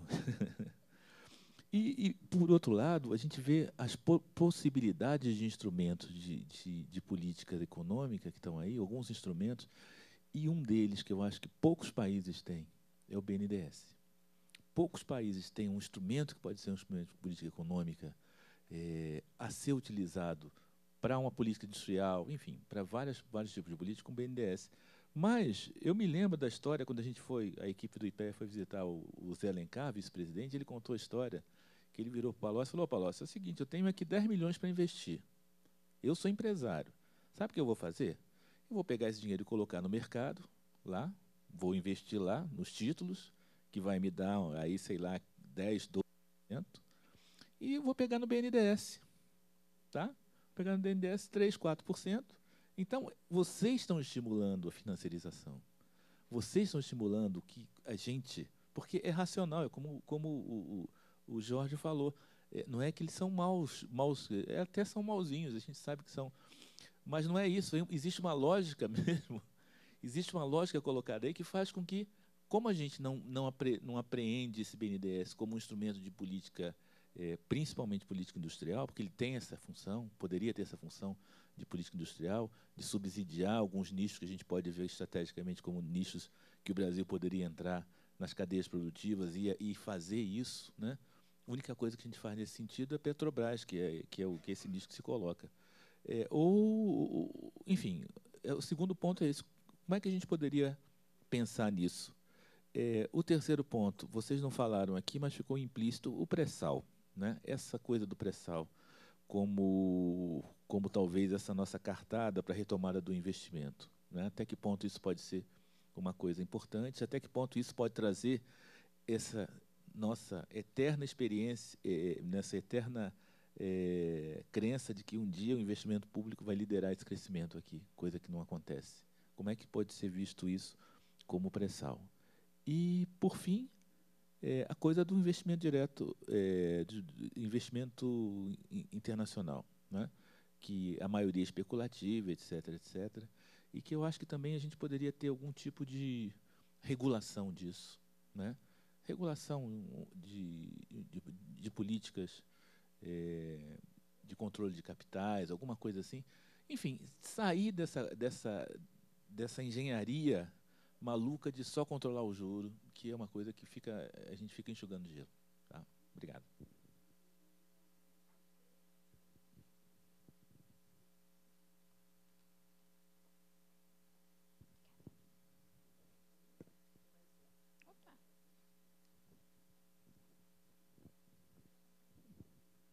Então, desculpe, mas eu quis fazer aqui umas ponderações. É, parece que nós temos que articular a venda das commodities com compra de manufatura. Mas tem um outro setor que eu acho que nós temos investido pouco, nós podemos investir, já que você pega, tem os países desenvolvidos, os emergentes, os desenvolvimentos e os não desenvolvidos. Então, se nós apostarmos em bens de capital para exportar, não sei como que vai ser essa concorrência, pode ser um setor que ajude a equilibrar essa questão de que nós exportamos muita commodities e isso nos obriga, de certa forma, a comprar manufaturados. Eu estava discutindo a instalação de uma metalúrgica na cidade de Colinas, que é um município que a gente, só para citar exemplo, que a gente administra lá no Tocantins, 30 mil habitantes, e o camarada está me dizendo, é melhor eu comprar o aço da China, as lâminas de aço da China, do que eu comprar em qualquer indústria brasileira. No entanto, o minério de ferro sai daqui. É, eu fiquei até um ano atrás avaliando o seguinte: com a mudança de governo, essa questão dos investimentos do setor público, e o andamento de muitas obras que entraram em desaceleração tinha dois fatores. Primeiro, é essa coisa do TCU, do empoderamento do TCU. E eu disse hoje na palestra de manhã, nós enfrentamos a partidarização do Ministério Público, que impede os prefeitos, os governantes, de agilizar o processo é, de execução de obras e outras políticas. Mas também é o caso em que esse atual governo é, colocou muito burocrata em postos de, de decisão. E esses cidadãos têm medo de botar a caneta no papel, de botar a sua assinatura. No governo Lula, você tinha mais políticos nesses postos de decisão. E esse não tinha muito medo de botar é, a caneta ali e deixava rodar sem considerar que tem aquela coisa que o Keynes falou, que é parte dos vazamentos, né, que estava havendo, de certa forma, numa sobrecarga, haja vista a questão da Valec, do DENIT e companhia. É, a desoneração de alguns setores é um negócio estranho. O governo dá recurso para os municípios com uma mão e tira com a outra. Porque você diminui, é, quando você diminui o IPI, você tira dinheiro do fundo de participação dos municípios e dos estados. Leva os municípios a um sacrifício muito grande. Então, assim, não, mas do outro lado, ele diz, não, mas a gente pelo menos não permitiu o desemprego. Bom, mas os municípios estão num gargalo sangrado e com dificuldade de operar políticas que poderia ajudar no desenvolvimento. Por outro, outra questão, só pegar o exemplo do meu estado. Nós temos 1 milhão e 400 mil habitantes. 365 mil cidadãos são é, fa famílias assentadas e agricultores familiares. Acho que é um potencial bom para implementar a produção e desenvolvimento, mas precisa não só dos recursos, que eu acho pouco ainda, essa questão do recurso para a agricultura familiar, precisa da qualificação desse cidadão que está lá para produzir, precisa de uma assistência técnica que seja capaz de articular a produção já com vista ao mercado consumidor e precisa de uma coisa que me emocionou há poucos dias atrás. Nós participamos de uma região muito violenta na questão agrária, etc. Os agricultores que estão lá, os assentados hoje, que enfrentaram os pistoleiros, a polícia, os coronéis, os governos e conquistaram a terra, hoje ele está pedindo para que você organize a questão sanitária para ele poder vender os seus produtos, de inspeção sanitária para ele poder vender os seus produtos. E, nesse sentido, na questão agrária, o nosso governo, o nosso governo,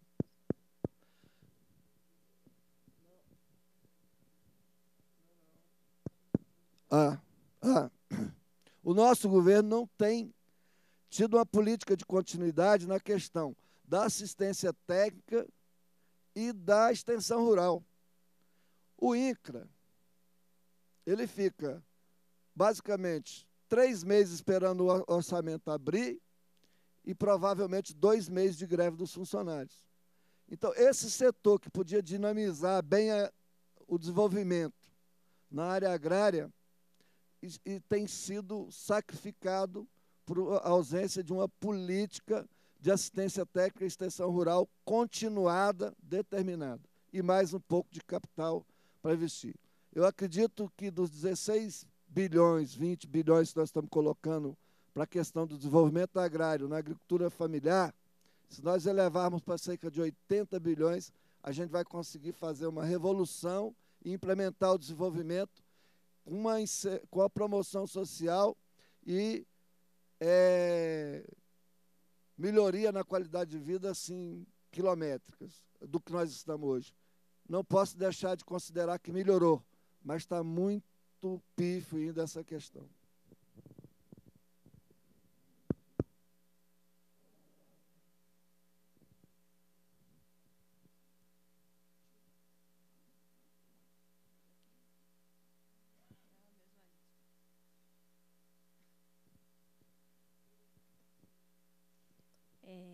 Eu vou voltar à questão da inflação e aquele momento que você tinha falado.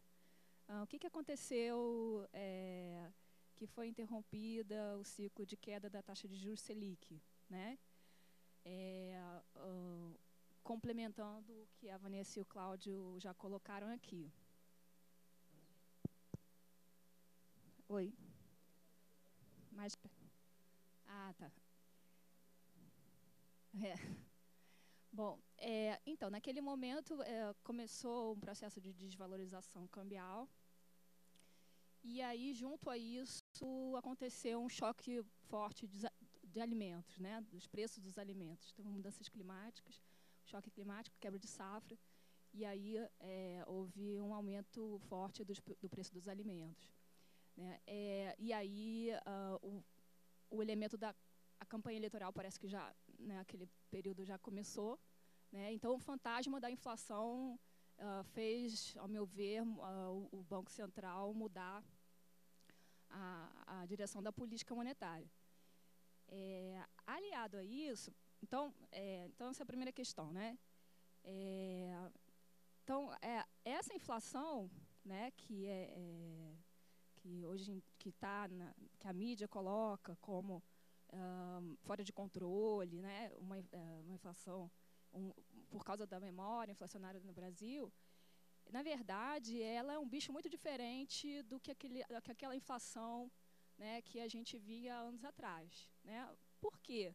Porque a essa inflação está associada a mudança de preços relativos né, muito diferente do que acontecia no passado.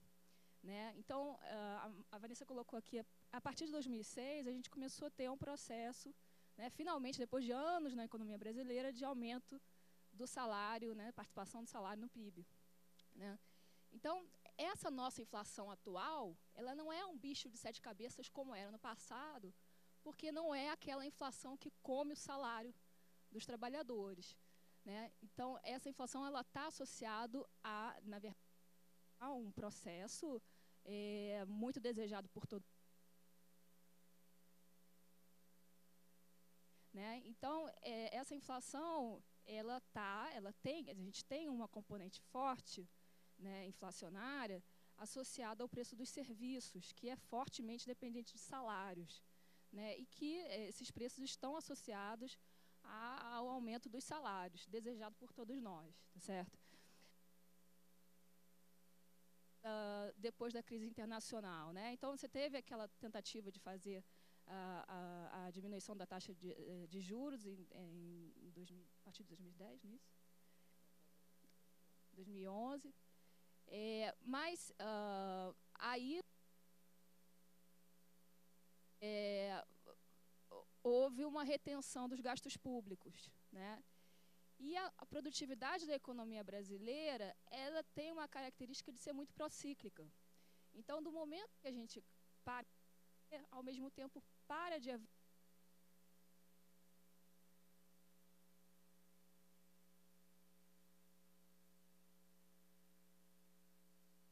tá certo? Então, uh, a queda do crescimento econômico, né, que é vinda em parte por uma visão né, de que é necessária conter a inflação através de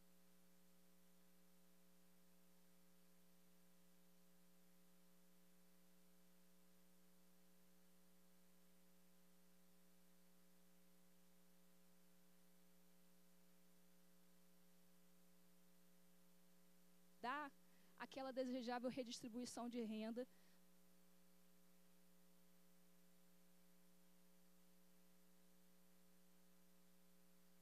inflação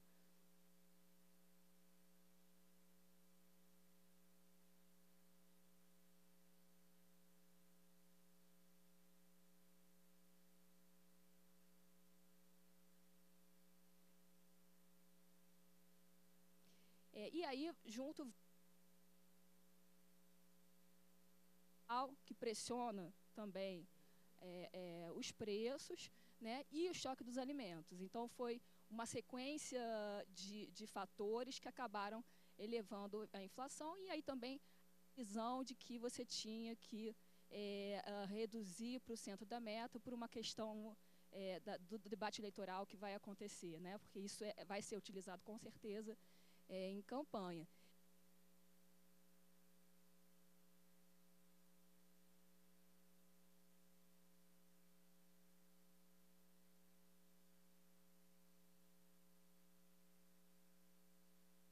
né? E isso é um diagnóstico errado, porque, a, a, a, na verdade, as nossas margens de, de lucro, né, é, elas são anticíclicas, né? Aqui no Brasil a margem de lucro é anticíclica.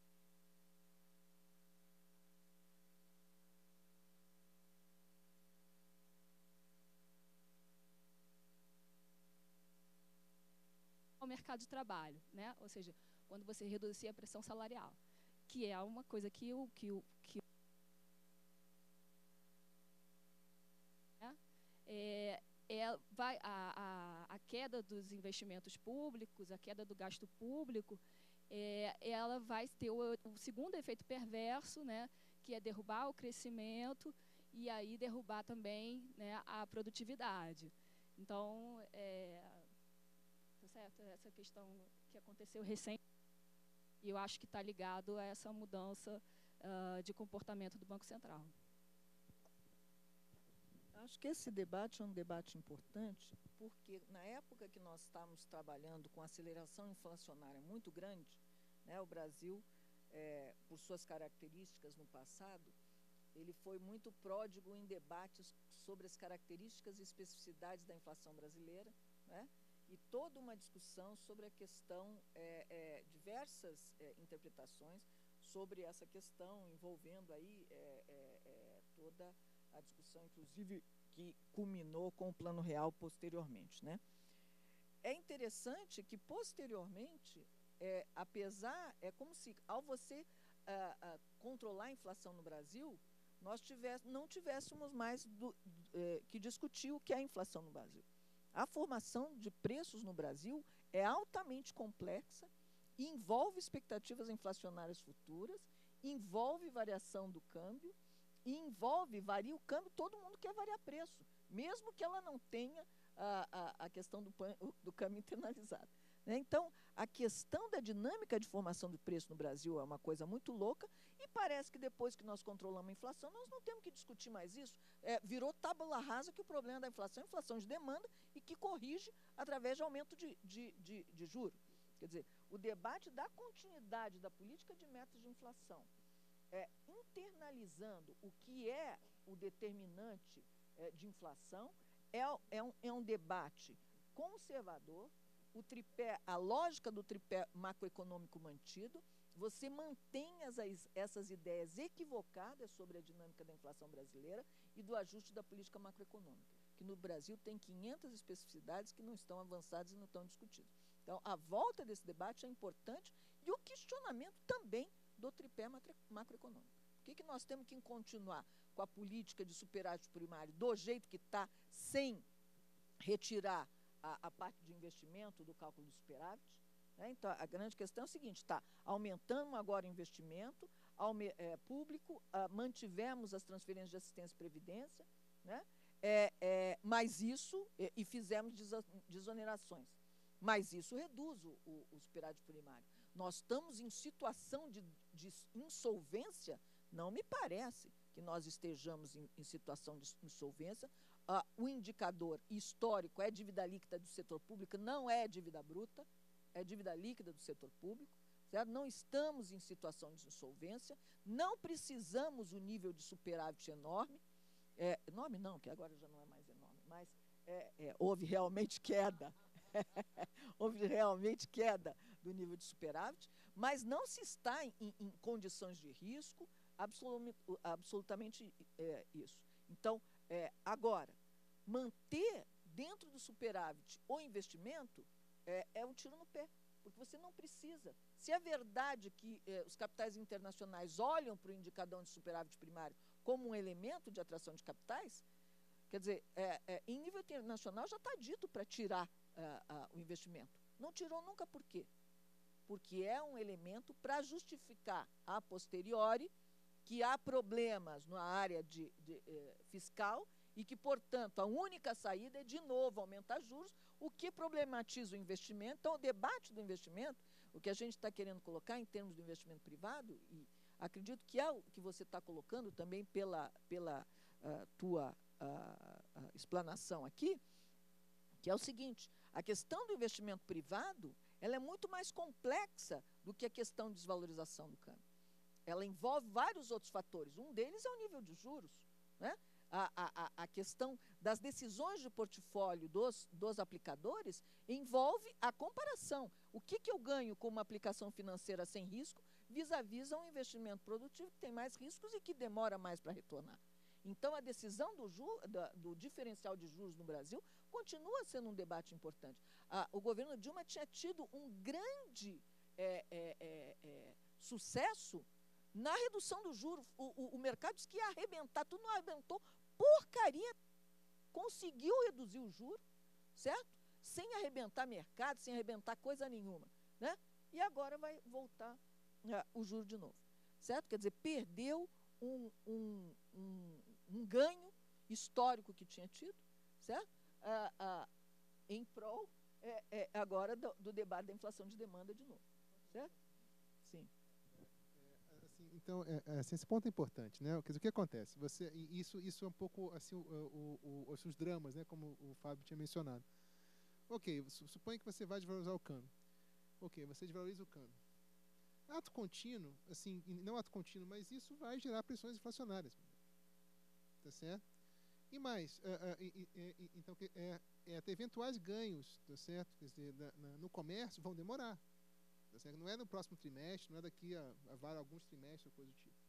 Então você vai jogar a economia para baixo, em certo sentido. Se você junta com isso, se você desonera, tá certo? Tá? Uh, o que vai acontecer é você vai começar a ter problemas fiscais, tá certo? Em um momento onde a inflação está subindo, porque você desvalorizou o câmbio. E aí o que, que as pessoas vão dizer? A inflação está saindo do controle, o governo está perdendo o controle, etc, etc. Aí você vai olhar para sua, então, é, é, é para a sua política fiscal que você queria, é, então, é, é, endurecer para começo de conversa, e você vai falar, puxa, mas eu, eu, eu não estou conseguindo endurecer, porque eu não tenho receita para endurecer. E você acaba tendo que ir, então, para os juros. não, você faz duas coisas. Você tenta cortar gastos, mas mesmo assim, você corta o gasto, não, não, não dá para chegar ao superávit que você quer chegar. Tá certo? Porque você corta o gasto, você bota a economia mais para baixo ainda, a receita cai mais. E aí não, acaba não tendo outro jeito a não ser para você. É, então, é, é, é para você, é, tá, abre aspas, acalmar os mercados, fecha aspas, tá certo? Você tem que subir a taxa de juros, e você sobe a taxa de juros, todo mundo fica feliz. E aí você controla a inflação. Então você tenta sair, tá certo? De um, de um binômio juros-câmbio, tá certo? Então dá uma rodada e você acaba tendo, então sendo forçado a voltar. Tá certo? Um pouco esse, assim, esse ponto. Voltando uma questão é, é, é, é, que foi mencionada aqui. Bom, mas e daí? E o futuro? Né? Seja, quais são os caminhos a seguir aqui? Tá certo? Ah, ah, ah, eu tô, assim, estou convencido que é possível que a gente tenha que voar com duas turbinas. Tudo bem, com duas a gente voa. Mas é muito importante ter, é, é, então, ter é, fora a questão da distribuição de renda, tá certo? Que continua, etc. Né? É, há que ter efetivamente é, é, algum plano de, de, de, investimentos públicos. E aí pode não ser, pode até ser um plano como esse que você está mencionando, ok? É, é, não precisa ser um plano de investimentos públicos, mas um plano liderado pelo Estado, tá certo? Que, no qual a, a iniciativa privada se, se, se, então adere a esse plano, tá certo?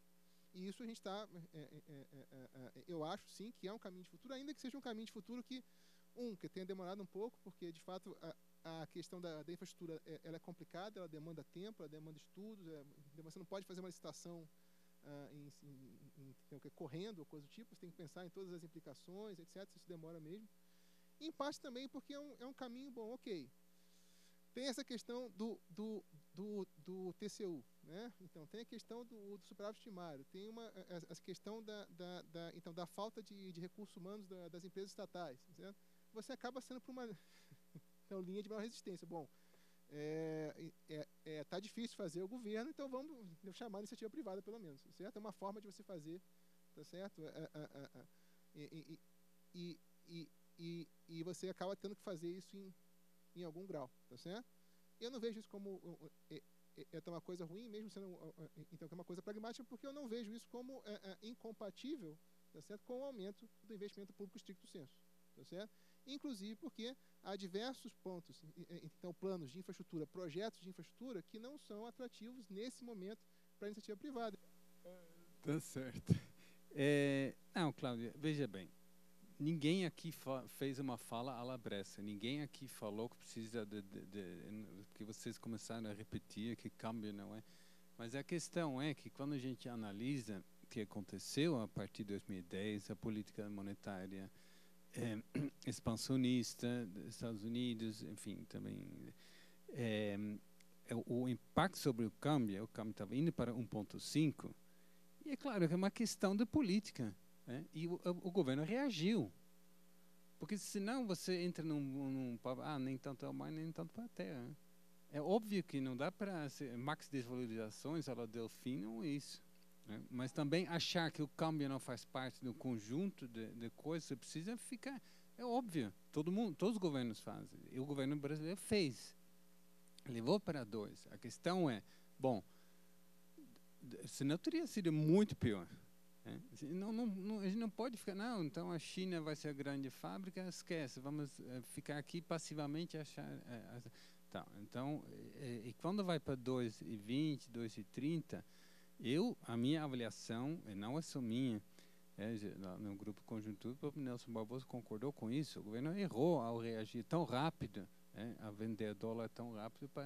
É, mas tem um elemento lá que é, que você não colocou, que é endividamento privado, né? endividamento em dólar da Petrobras, por exemplo, que é uma forte lobby né, contra a desvalorização. Então, tem com, questões complexas que têm a ver com porquê. Mas, dentro desse rol de questões, eh, juros, tirar a, essa opção rentista eh, eh, para estimular investimentos, quando você estimula investimentos, você tem, sem investimento não tem inovação.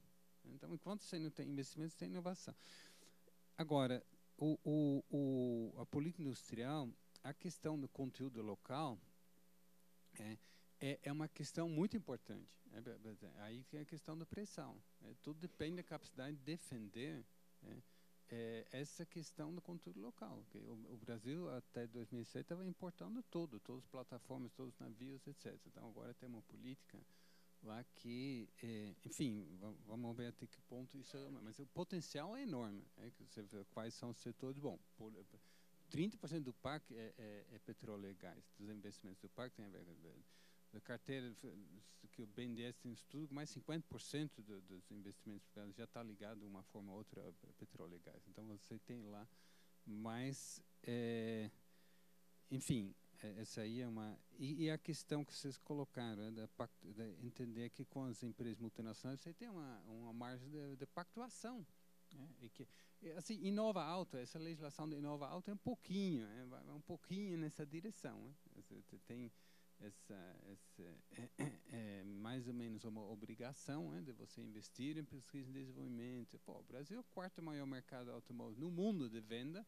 Bom, então, é, você de um lado você defende, é, que você tinha aquela lá, aquela aumenta a importação, você, do outro lado você, bom, já que defende, quer alguma coisa em troca. Então, essa ideia de ter alguma coisa em troca, eu acho que tem uma margem de, é, de manobra muito grande é, do, do, do governo pouco utilizado, exatamente, isso é isso que. Então, então era isso, tá bom?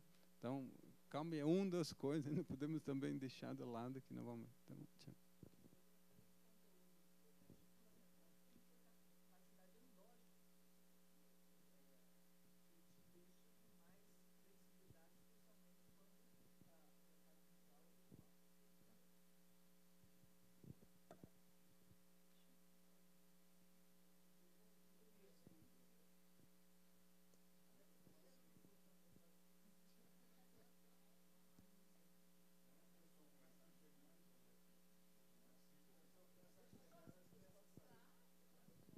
Só para. Só pra, é, aí aí a, a questão da. É que, não, só, só para ressaltar a questão da interrelação, né? É, assim, ouvindo algumas contribuições, né? O caso, por exemplo, do, é, dos leilões, né? Da, da é, o caso do TCU, né? Que foi mencionado ali pelo companheiro. É, quer dizer, todo esse debate, ele envolve né, decisões políticas importantes. Mas ele, ele, ele demanda também uma estrutura de Estado que tem que ser repensada para conseguir viabilizar essas decisões políticas. Então, assim, nós não podemos mais é, ficar é, tentando produzir crescimento econômico sem ter um sistema de planejamento e de gestão pública que consiga né, dar execuibilidade a algumas decisões. O tipo, né, então vamos fazer uma, uma estrada né, num lugar onde aqui vai precisar ser investimento puro sangue governamental, tá certo? Tudo bem, mas se a gente continuar com o mesmo sistema que a gente tem hoje, com o TCU podendo. né, se a gente puder, quer dizer, além de, de é, resolver esse dilema, a gente tem que ter uma, um, os mecanismos né, é, necessários para poder construir a estrada, né, sem, é, sem corrupção, obviamente, né, porque os, recursos, os recursos são escassos também, né, mas também sem, mas também né, sem paralisação de obra por Ministério Público. Né? Então, é, acho que aqui tem uma, uma interface importante entre esse debate e outros debates que estão acontecendo aqui. Né? A gente falava aqui, do, o, o Cláudio falava da questão dos interesses, né, das pressões em cima do ministro. O pessoal está discutindo reforma política aqui do lado. Né? Quer dizer, isso é fundamental. Né? Se a gente tiver é, grandes grupos econômicos financiando campanhas, depois não tem como ficar, né, achar que, ele, né, que o governo, na hora de desonerar, não vai dar uma atenção especial para esses grupos. Né.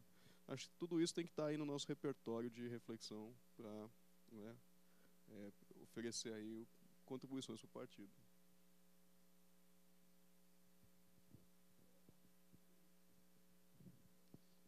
Desculpa ter chegado é, atrasado aqui, pegado o bonde andando. Mas eu queria só, é, não sei se essa, esse o componente político ele foi é, suficientemente abordado, porque me parece que tem um, um, um, movimento, é claro, de uma tentativa de emparedamento né, do, do governo do, e, do, e do PT propriamente dito. Quando a gente vê, é, por exemplo, a discussão do PIB potencial, né, o que está por trás disso? Né? Quando, agora recentemente, é, eles foram surpreendidos e o Aécio correu para desmentir, mas a turma lá da Casa das Garças, o Mansueto, o Pessoa, eles estavam discutindo sim né, a questão da fim da política do salário mínimo. Eles estavam discutindo isso né, e dizendo que isso né, é, era um dos componentes inflacionários. E aí, quando vazou né, o valor, né, passou, botou uma página inteira lá, e o, o Aécio no dia seguinte, não, não tem nada disso. Né? Mas é uma discussão que eles fazem, a gente sabe que eles fazem. Então, de alguma forma, é, é, eu acho que o governo ficou acuado. Né? Na questão do recuo da taxa de juros, na questão da ampliação da desoneração, acho que deu, acabou dando mais do que eles queriam, nitidamente acabou dando mais do que eles queriam. No processo de concessões, né, não, tô, não falo nem da concessão, mas nas condições das concessões, eles estão estabelecendo, né, o capital está estabelecendo as condições. Ele diz assim: se não for isso, eu não vou. Entendeu? Agora eu quero isso. Né? Então, acho que o governo está emparedado. Né? E aí é perigoso. É perigoso porque a gente acaba né, recuando, recuando, recuando. E, na verdade, o debate que eles vão, vão fazer é o debate da incapacidade, eles estão falando isso, esgotamento da capacidade desse governo de promover o desenvolvimento e, aí, e por aí vai. E talvez eles consigam sucesso nisso. Né? De tanto fazer o nosso governo recuar, talvez eles consigam sucesso nessa questão. Então, me preocupa muito é o fato do, da gente, diferentemente do que aconteceu no próprio governo Lula, de em alguns momentos né, peitar esse debate. Eu acho que o governo não tem peitado o debate, tem se deixado emparedar, e eu acho que isso é, é complicado né, para o ano eleitoral.